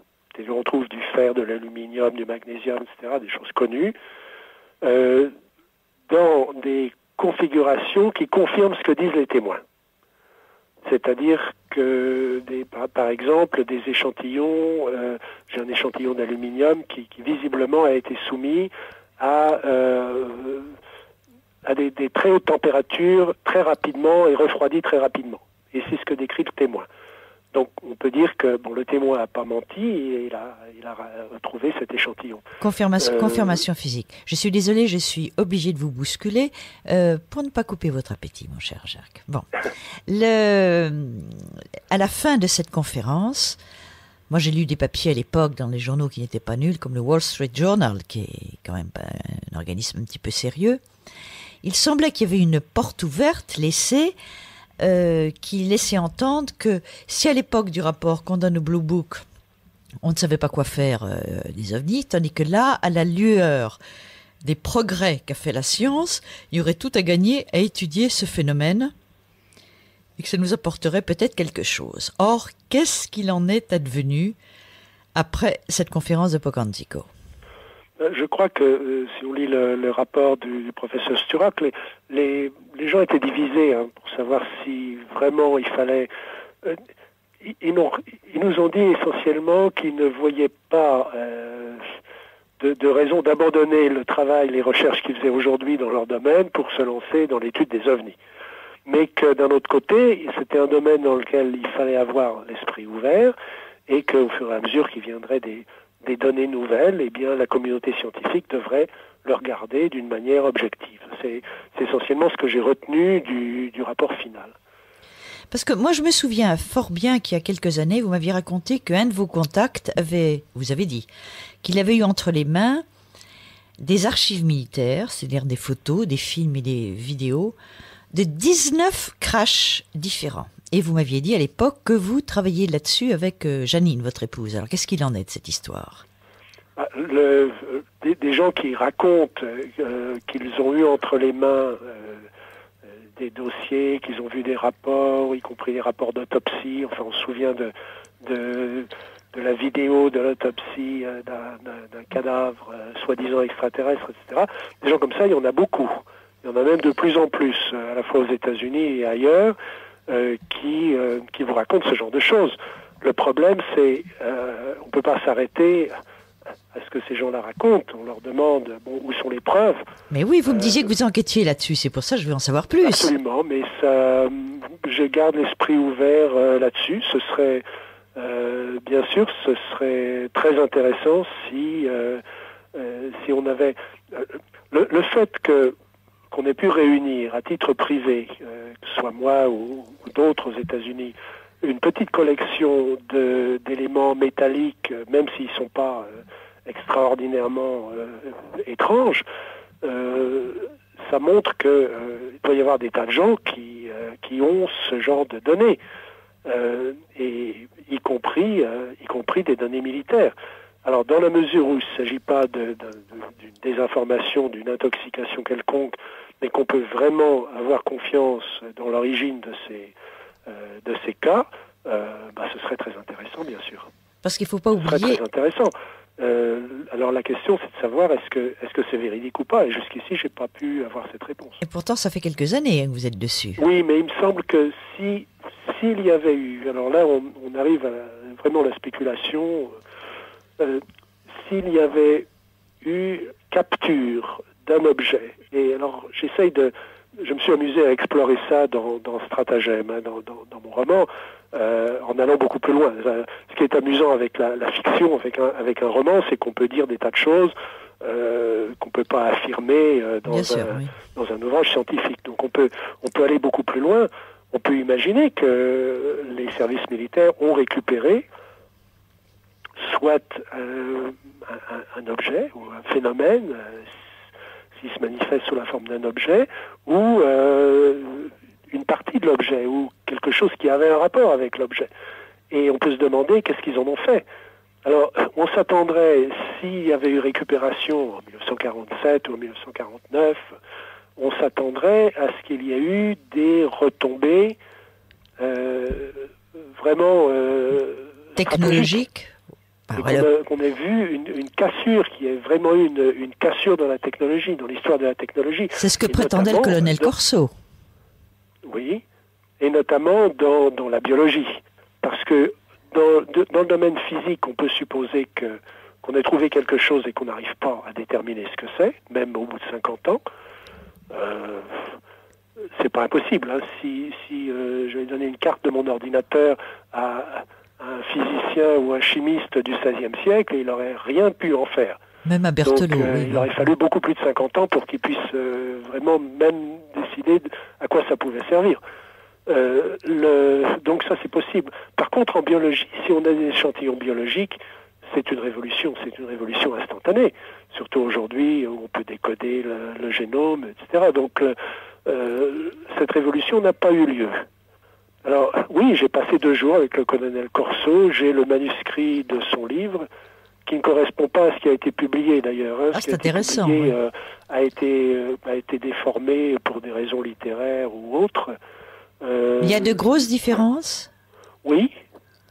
Entre autres sur la récupération de la technologie? Non, mais sur les expériences directes qu'il a eues. Euh, le colonel Corso m'a raconté qu'il avait, euh, qu'il s'était trouvé en présence d'un être et qu'il avait euh, une communication euh, télépathique avec cet être. Oui, comme disent les, les, les médecins, soi-disant dans le cas de Vargina. Hein. Il y aurait, oui, aurait une pas, communication. le cas de le, Vargina. le cas de Vargina. Le... Bon, donc il y a une. Ce qui est publié ne correspond pas toujours, et ce que les gens racontent ne correspond pas toujours à, à la réalité euh, de la personne. Et... Mais attendez, pourtant le, le, livre de Corso a été publié de son vivant. Donc il a avalisé cette version. Oui, là aussi il y a eu des procès, il y a eu des, des, des histoires assez sombres sur les droits, sur la déformation des choses, etc. Ah. Enfin, euh, Corso, donc je l'ai relativement bien connu euh, dans le cadre du NIDS, hein, puisque euh, il a passé deux jours avec nous. Donc ça, ça donne à penser que bon, qu'il y a une question très complexe derrière. Bon, alors justement, nous allons en revenir à ce fameux NIDS. Euh, soi-disant défunt ou pas du tout défunt ou officiellement défunt? C'était l'Institut national de la découverte de la science qui avait fondé ce milliardaire de Las Vegas, Monsieur Bigelow, qui maintenant s'occupe beaucoup, qui s'occupe maintenant d'autre chose, mais qui s'intéressait quand même à, des, à un éventail de phénomènes assez ouverts, puisqu'aussi bien des problèmes de survie de la conscience après la mort, que des ovnis, bien sûr, que des mutilations, puisqu'il s'est installé dans un ranch, si j'ai bonne mémoire, autour duquel il y avait eu pas mal de mutilations animales. Qu'est-ce qu'il en est advenu de NIDS auquel vous avez Alors, collaboré. Il y, y, a un livre qui vient d'être publié aux États-Unis, euh, qui euh, par euh, publié par Colm Keller, qui était un des un des directeurs de, de recherche du, du NIDS. Donc ce, ce livre est, est, est, disponible. Comment s'appelle-t-il? À la recherche du Skywalker. Il raconte l'aventure du, du NIDS du début à la fin. Je crois que c'était une initiative assez géniale de réunir un aréopage scientifique d'une bon, d'une vingtaine de scientifiques qui représentaient à la fois des physiciens, il y avait des physiciens de Los Alamos, il y avait un astronaute, euh, il y avait euh, des médecins, il y avait des psychiatres, euh, il y avait des gens qui étudiaient la survie. et il y avait des gens qui appartenaient au service et, du renseignement Et une statisticienne, et des gens qui avaient effectivement travaillé avec des services de renseignement. Voilà, colonel Alexander. Bon, alors petite question sur le NIDS, par exemple, puisqu'il semblerait que NIDS ait sponsorisé une partie des recherches du docteur Lair sur les implants. Alors là, il y a un vaste trou noir pour les résultats. Oui, il y a un trou noir et euh, je me, on a tous signé un accord de confidentialité hein, sur euh, les recherches du NIDS qui, euh, dont j'ai pas été euh, dégagé, donc je me, je me sens tenu par le secret. Sujet, sujet à cela. Il n'y a, y a, rien de, de sinistre derrière, il n'y a pas de complot derrière. Le, mon, mon rôle bon, était D'abord, euh, Monsieur Bigelow m'avait demandé si je voulais rejoindre le NIDS et le diriger. En quelle année euh, est-ce que c'était ça? euh, C'était il y a, je connais pas la date, j'ai pas la date exacte en mémoire. Ce serait il y a sept ans à peu près. Oui, parce que je me souviens à l'époque. C'était tout à fait au début. Hein, Chez moi, vous m'aviez dit que vous aviez assisté à la remise d'un chèque fort important de Monsieur Bigelow au docteur Mack pour la recherche sur les enlèvements. Ça, c'est dans mon journal intime. J'ai le montant du. Oui, oui, tout à fait. Euh, vous vous souvenez du montant du, de la subvention? Euh, Alors, il y a eu plusieurs étapes hein, dans les recherches qui ont été faites. Euh, je crois que les, les versements étaient en plusieurs étapes, comme on fait toujours dans les études scientifiques, en fonction de certains résultats. Je ne sais pas exactement qu'est-ce qui a été exactement qu'est-ce qui a été versé. Enfin, il est clair que le budget euh, était, important puisque euh, au moment de, son développement total, le, le comportait, euh, je crois, huit personnes, donc, dont deux directeurs scientifiques, un biologiste et un physicien. l'expérience du ranch, à mon avis, était géniale. C'était d'acheter purement et simplement un euh, une euh, propriété sur laquelle il y avait des phénomènes récurrents depuis très longtemps, et, et puis de l'instrumenter de manière à étudier ces phénomènes. donc ces détails sont dans le livre de Keller, euh, qu'il a publié avec l'autorisation, je suppose, de Bigolo, donc il n'y a pas de problème. Bon, pour moi, euh, j'aime bien ce que je fais, j'ai une activité professionnelle active, donc il n'était pas question de, de, partir pour le Nevada pour m'occuper de cela mais euh, j'ai proposé de, de, rejoindre le, le comité scientifique. Comité scientifique. Et, ce comité scientifique a interrompu, donc le, le NIDS euh, n'existe plus en tant que recherche active sur le terrain, euh, mais euh, le comité scientifique existe toujours dans le cadre d'une de, de l'activité euh, aérospatiale de, de, Bigelow, qui ah s'appelle Bigelow Aerospace. Très important dont on... Qui parle de leur, ouais, de leur développement sûr. et des recrutements qu'ils font, etc. Alors, petite Donc, question euh... perverse, à quoi correspond ce, ce secret imposé par NIDS non, alors, euh, bon, techniquement, donc je fais toujours partie de ce comité scientifique de Bigelow Aerospace, hein, donc c'est... Oui. Euh, pour, pour vous et vos auditeurs, c'est important de le savoir, hein, de, donc je ne cache rien là-dessus sur mes relations avec le, avec le NIDS. Euh, le, le secret, euh, c'est euh, bon si vous allez travailler pour, euh, je sais pas, pour Ron Poulenc ou pour Intel, ils vous demanderont de signer un accord de confidentialité. C'est classique. on était tous d'accord pour le signer. ne serait-ce que pour contrôler justement les rumeurs qui euh, dont on savait que les, médias allaient s'emparer immédiatement. Donc, euh, c'est tout à fait normal. Euh, un, un, employé, un technicien d'Intel ou un ingénieur d'Airbus. De, euh, oui, mais là, le, Jacques, je suis désolé de vous interrompre, et là, nous ne sommes pas dans le domaine de la technologie.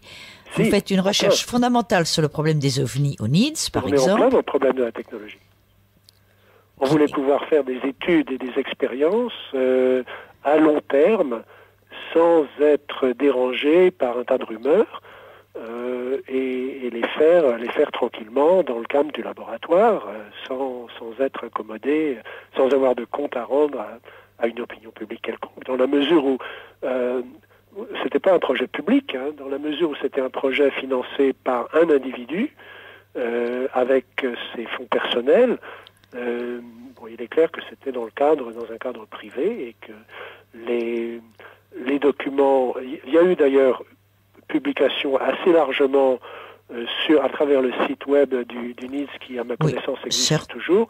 Il y a eu un certain nombre de publications qui ont été faites au fur et à mesure, à la fois sur les ovnis, sur les mutilations, sur ce qu'on a trouvé sur les mutilations de bétail. et il y a eu deux livres de Colm Keller sur, sur nos travaux, donc c'est pas c'est pas un sujet classifié, secret défense, etc. Oui, mais euh, vous défendez votre patron, puisque c'est toujours votre patron dans ce domaine euh, bien précis. c'est c'est normal, mais vous, non, mais vous imaginez bien qu'à partir du moment où on parle de ce, ce secret, cette confidentialité, ça va faire que augmenter les rumeurs qui polluent le dossier. Vous êtes le premier à connaître l'importance et la nuisance des rumeurs. Oui, mais ça, euh, à la limite, euh, dans, mon domaine, euh, je travaille avec des sociétés privées dont j'ai financé un certain nombre. ces sociétés n'ont de, compte à rendre à personne jusqu'au jour où elles font appel au public pour leur financement. Une fois que ces sociétés entrent en bourse, elles publient leur, disclosure, hein, elles publient l'ensemble de leurs données, y compris le salaire du président, etc et, les dossiers sont, sont ouverts. dans la mesure où une, société garde ses secrets et, demande à ses, c'est le, secret industriel, hein, demande à ses employés de garder le secret jusqu'au moment où elle dépose un brevet. Quand elle dépose un brevet, eh bien, les processus de fabrication sont déposés, ils sont connus de tout le monde. Oui. Et à ce moment-là peuvent être euh, utilisés par tout le monde et au besoin euh, développé euh, plus loin par, par d'autres, par ses concurrents, etc. C'est comme ça que, que l'industrie fonctionne. Hein. Ça, c'est, tout à fait classique. Il n'y a pas de, volonté, euh, encore une fois, il ne faut pas y voir quelque chose de, de, sinistre. Il faut voir aussi que on n'était pas du tout certain de ce qui allait arriver. Hein. On, on, lançait une série d'expériences qui pouvaient aller très loin. Euh, on avait besoin de protéger euh, ces expériences dans la mesure où il y a une composante d'information. Le contrôle de l'information fait partie de l'expérience. Et, là, c'est un domaine sur lequel euh, j'ai personnellement insisté, de contrôler l'information jusqu'au moment où on avait le résultat de l'expérience. Une fois qu'on a le résultat de l'expérience, on peut l'expliquer, on peut le ah, Donc, si vous dire, vous n'avez pas encore de résultat des observations. Des observations, mais pas, pas de résultats. Alors, que... Euh, un des résultats, c'est quand même un, document qui va être publié en français euh, prochainement, un document qu'on a écrit, euh, une modélisation du phénomène OVNI sur six niveaux différents, qui, que je peux vous envoyer par courrier électronique. Ah oui, bien sûr, oui. Elle va être publiée par un...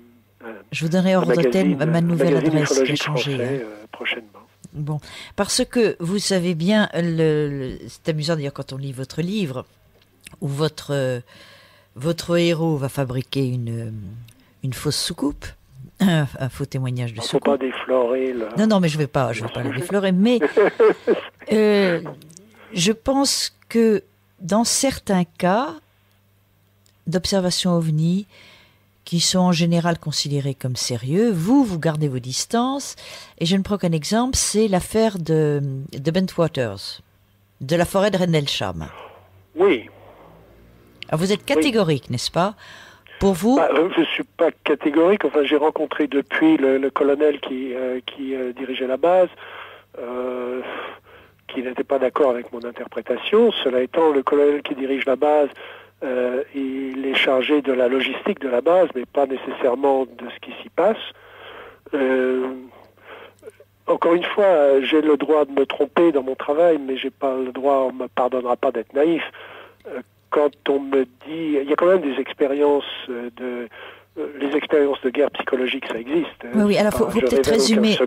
On, va juste résumer en deux mots l'affaire de, de Rendlesham. C'est la plus grande base américaine en Angleterre, sur lequel va se dérouler des observations ovni toute une nuit. Il y a vraiment des choses assez dérangeantes. Oui, et ça se déroule sur la partie britannique de la base, c'est-à-dire que les soldats américains n'ont pas le droit d'y aller armés. Donc on leur demande, euh, on rassemble un certain nombre de, de on leur dit euh, vous pouvez pas être armés, vous allez venir voir ce qui se passe là-bas.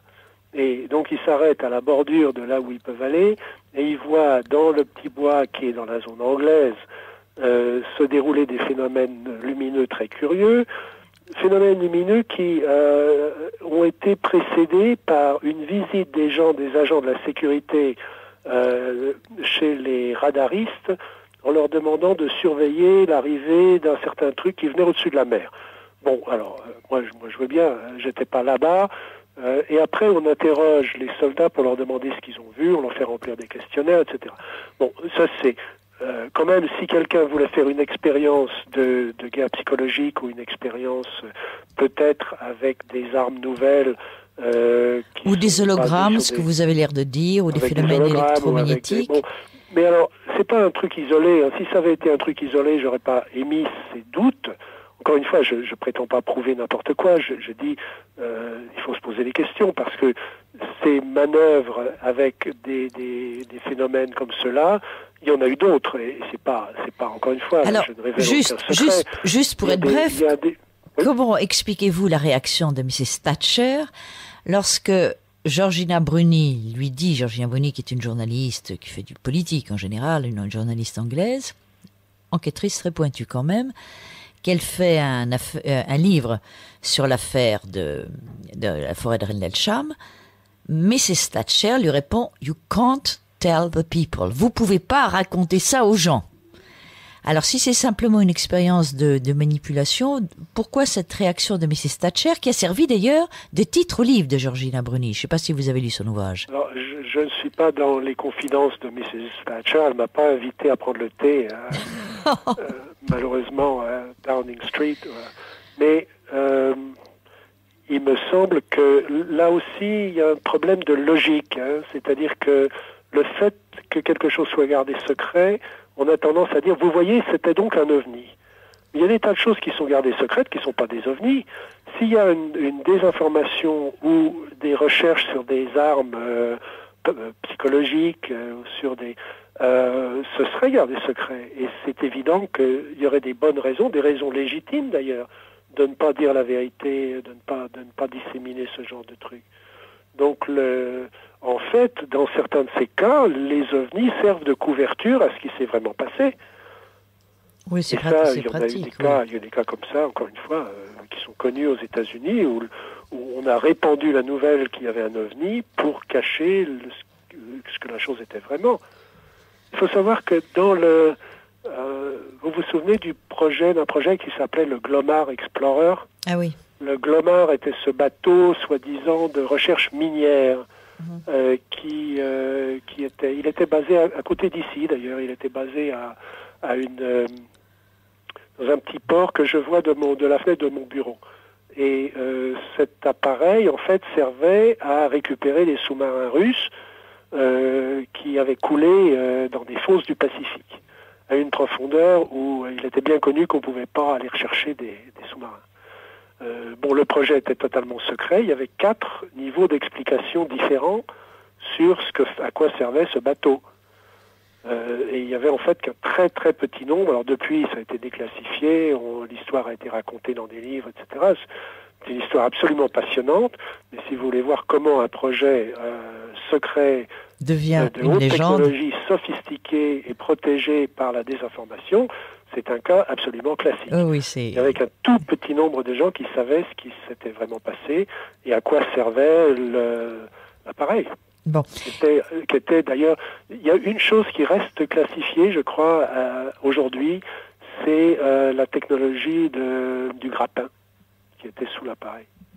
Tout le reste a été soi-disant déclassifié, enfin on ne sait jamais. Enfin, vous dites soi-disant. Alors comme nous sommes pris par le temps, il y, a, il y a quand même des sujets dont j'aurais voulu parler avec vous, mais comme vous m'avez dit qu'on ferait une autre émission, très bien, alors nous le laissons à plus tard. Euh, Si vous- si les vous cropes, voulez, si vous temps les d'en cropes, le Cometa, euh, Roswell, enfin j'ai mille et une choses à voir avec vous. Et nous allons quand même terminer, c'est quand même normal, sur le but de votre présence, enfin le, le motif, le mot d'excuse de votre euh, présence sur notre antenne, c'est votre livre, donc Stratagème. Alors, je ne vais pas déflorer l'ouvrage. D'ailleurs, il y a un ufologue qui l'a complètement résumé. On connaît l'histoire de A à Z. C'est même plus la peine de le lire. Mais Oui, mais c'est peut-être la peine de le lire pour lire ce qui est entre les lignes, parce que je Ah crois bah qu'il si pas très bien dites. compris. J'ai beaucoup de respect pour la personne qui, euh, bon, bah, à titre personnel, hein, pour, euh, pour cette personne. Je trouve que ce qu'il a fait était pas, pas très, pas très correct, euh, parce qu'en général, quand quelqu'un écrit un roman, d'abord il n'a pas compris que c'était un roman, mais bon, euh, mais quand quelqu'un publie un roman, ben, on déflore pas en général la conclusion du roman. Oui, on, on le résume pas tellement, euh, totalement, mais c'est un enquêteur qui travaille bien, euh, qui suit ses Oui, euh, dossiers. On peut être d'accord avec lui ou non, pour lui, donc, mais c'est quelqu'un qui, qui travaille Mais je considérablement. crois qu'il n'a pas lu, il l'a lu trop vite et il n'a pas vu euh, le but véritablement du livre et puis surtout ce qu'il y avait entre les lignes, parce qu'il y a beaucoup de choses entre les lignes. Ah, il y a énormément de choses entre les lignes. Et alors, c'est un, c'est un ouvrage qui est vraiment fondé sur votre connaissance du dossier. Ça, c'est évident. Ça beau être de la fiction, on voit quand même beaucoup, euh, on voit quand même beaucoup de choses. On reconnaît, puisqu'il y a même des personnages réels qui apparaissent. Petite question d'ailleurs, dans ce, dans ce roman, votre père, je signale que dans ce roman, le vilain s'appelle Brosse. Euh, En anglais, il s'appelle Croucat. Euh, ça veut dire quand, parce que bon, il est, il a les cheveux taillés en brosse. Mais Ah voilà, bon, pas une allusion. Le méchant s'appelle Brosse, très bien. Enfin, je, Oui. je le prends, je le prends en rigolant. Mais dans ce, dans ce roman, votre, euh, en deux mots, ça, je ne déflore rien. euh, les, les héros euh, qui se trouvent dans l'estuaire de l'Amazonie vont voir surgir deux gigantesques ovnis, des flots. Oui. Naufrage et vous faisiez allusion tout à l'heure au personnage, comme il a tout perdu, il va être très courageux son fils semble, je dis bien semble, être mort dans la tempête qui a suivi cette, cette sortie des deux gigantesques ovnis. Bien. Alors, votre père, dans ce roman, est un personnage qui travaillait pour la NASA et une autre agence, et qui manipulait des documents entre guillemets rares. Vous, est-ce qu'on peut vous demander euh, quel genre de documents ou de matériaux vous est personnellement passé entre les mains ou vous allez être, nous allons entrer dans la nébuleuse vallée? Malheureusement, il n'y a pas de nébuleuse vallée. Là, euh, il est clair que euh, il y a eu au, au cours des, des années un certain nombre de photographies et un certain nombre de documents qui ont été recueillis, ne serait-ce que la fameuse photo de Costa Rica. euh, que Sur laquelle d'ailleurs. Perrin Bréchambault n'était pas d'accord, il me semble, hein, pour le. Euh, bah, la question reste posée hein, de, de ce que c'est. Euh, c'est vrai. euh, euh, les- je l'ai. J'ai eu l'opportunité de- d'avoir accès au négatif. Non seulement au négatif de la photo, mais ce qui est très rare en, en ufologie. hein. Souvent, euh, toutes les discussions sont à propos de photos de qui tirage. sont oui. en fait des, des tirages et souvent des tirages de deuxième génération. On n'a jamais le négatif. Euh, là, j'ai eu le, négatif, qui est un négatif professionnel, non seulement de la photo en question, mais la photo d'avant et la photo d'après. Il faut savoir que c'était un- une caméra automatique qui, prenait une série de photos pour la cartographie de, l'état du Costa Rica. Donc j'ai j'ai obtenu cela, je l'ai fait, euh, je l'ai apporté à des amis en France euh, que vous connaissez certainement pour la numériser, pour en faire l'étude. Bon, à partir de ça, je ne suis pas moi-même expert en, analyse de photographie. Euh, bon, je sais quelles questions il faut poser, mais je ne comprends pas nécessairement toutes les réponses. Euh, la question reste posée. Mais euh, des, des cas comme ça, il y en a, il y en a pas mal. Et il y a notamment, bon, et ça je ne l'ai pas eu directement entre les mains, mais on sait que les satellites de reconnaissance détectent des objets qui n'ont jamais été expliqués, que les Américains, les services américains. non, mais moi je vous demande les preuves que vous avez tenues entre vos mains.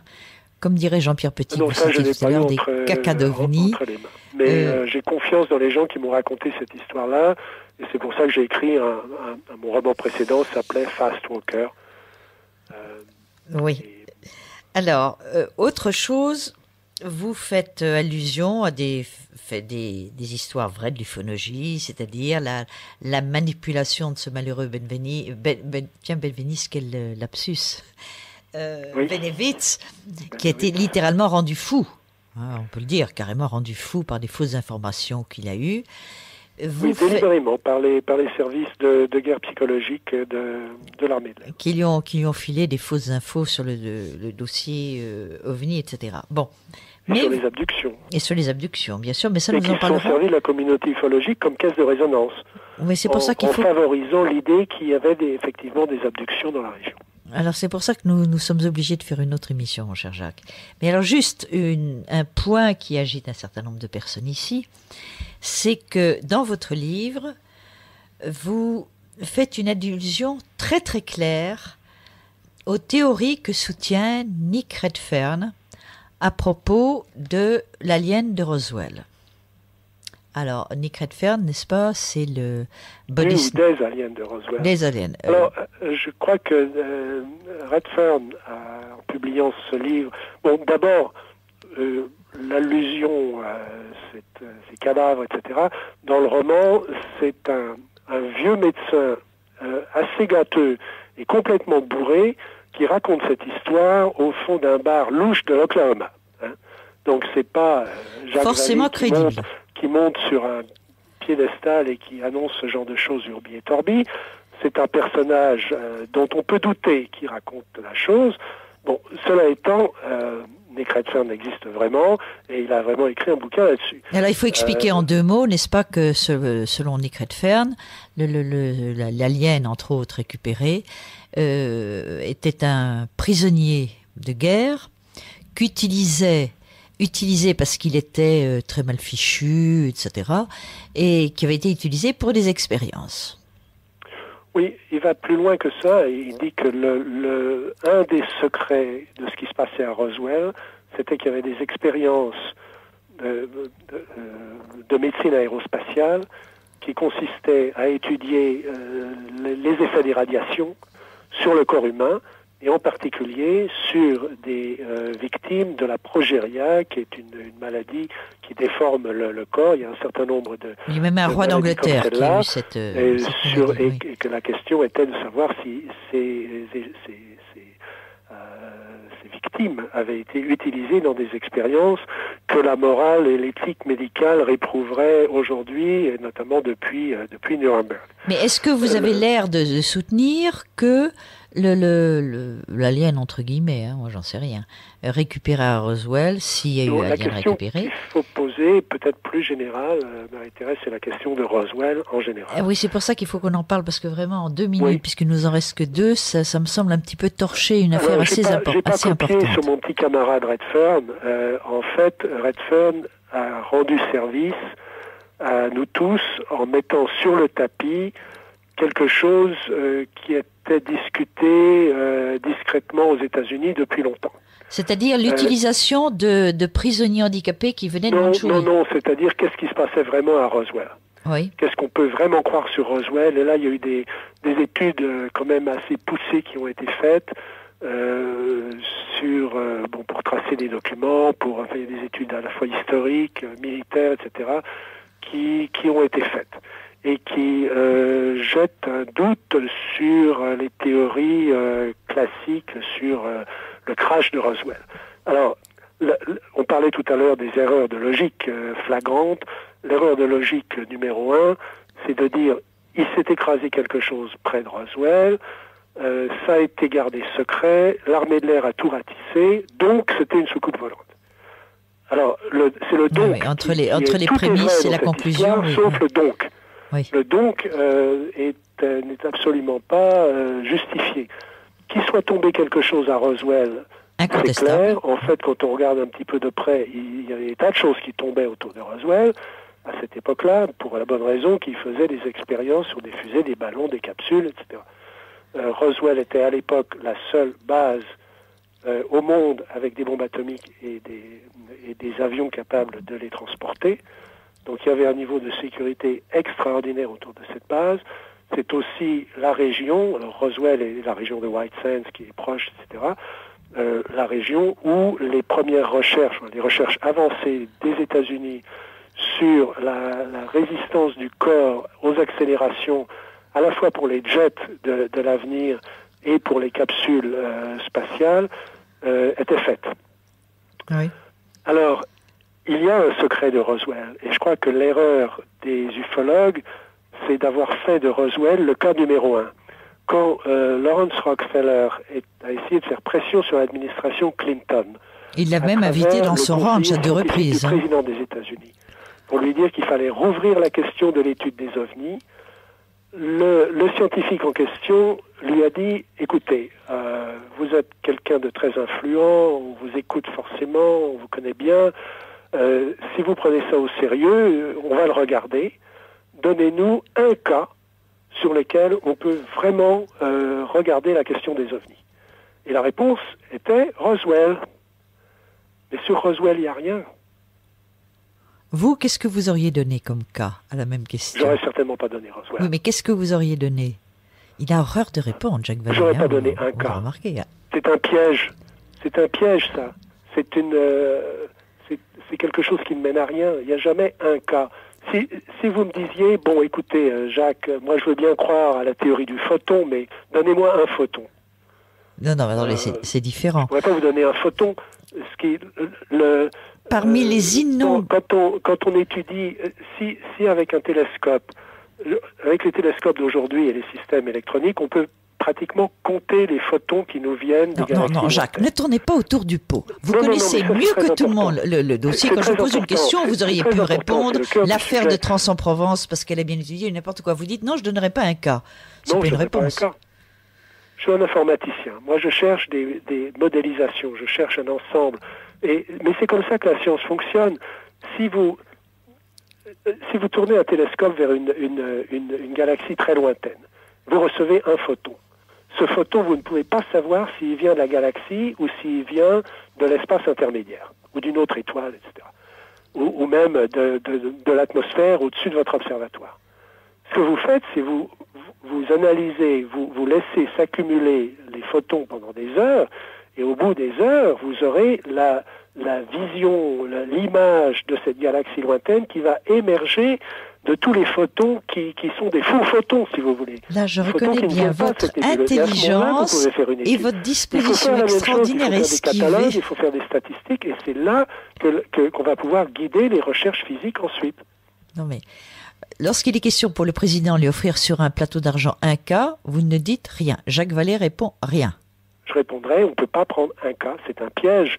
Euh, on doit faire une étude, prenons, rassemblons une centaine de cas et cherchons les modèles qui peuvent e-, e-, e-, exister dans cet ensemble de cas.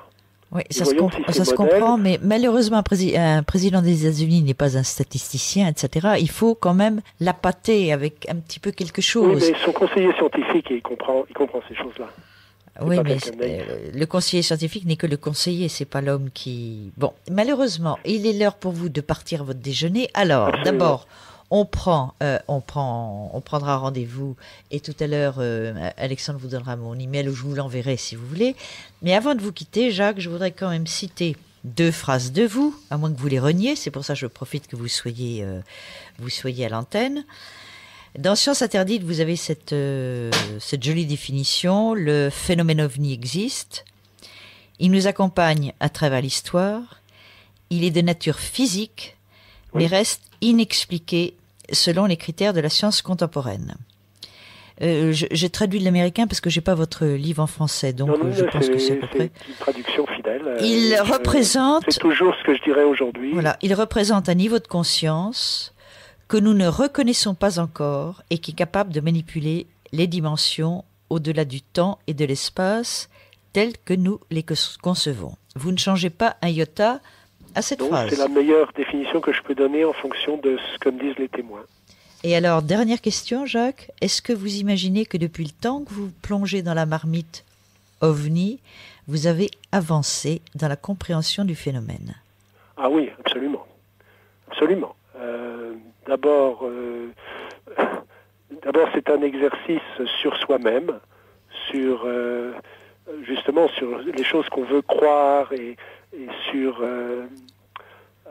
oui, mais vous, vous feriez une étude sur les, les, boutons de Bray euh, des mérovingiens, vous avanceriez de la même façon.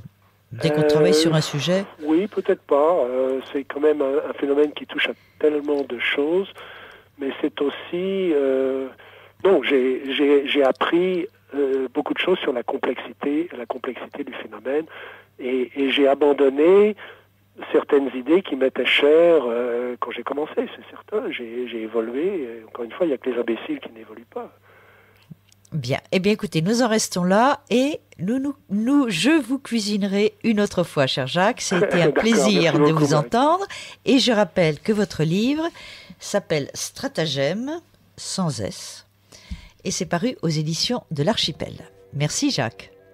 Merci, Marie-Thérèse.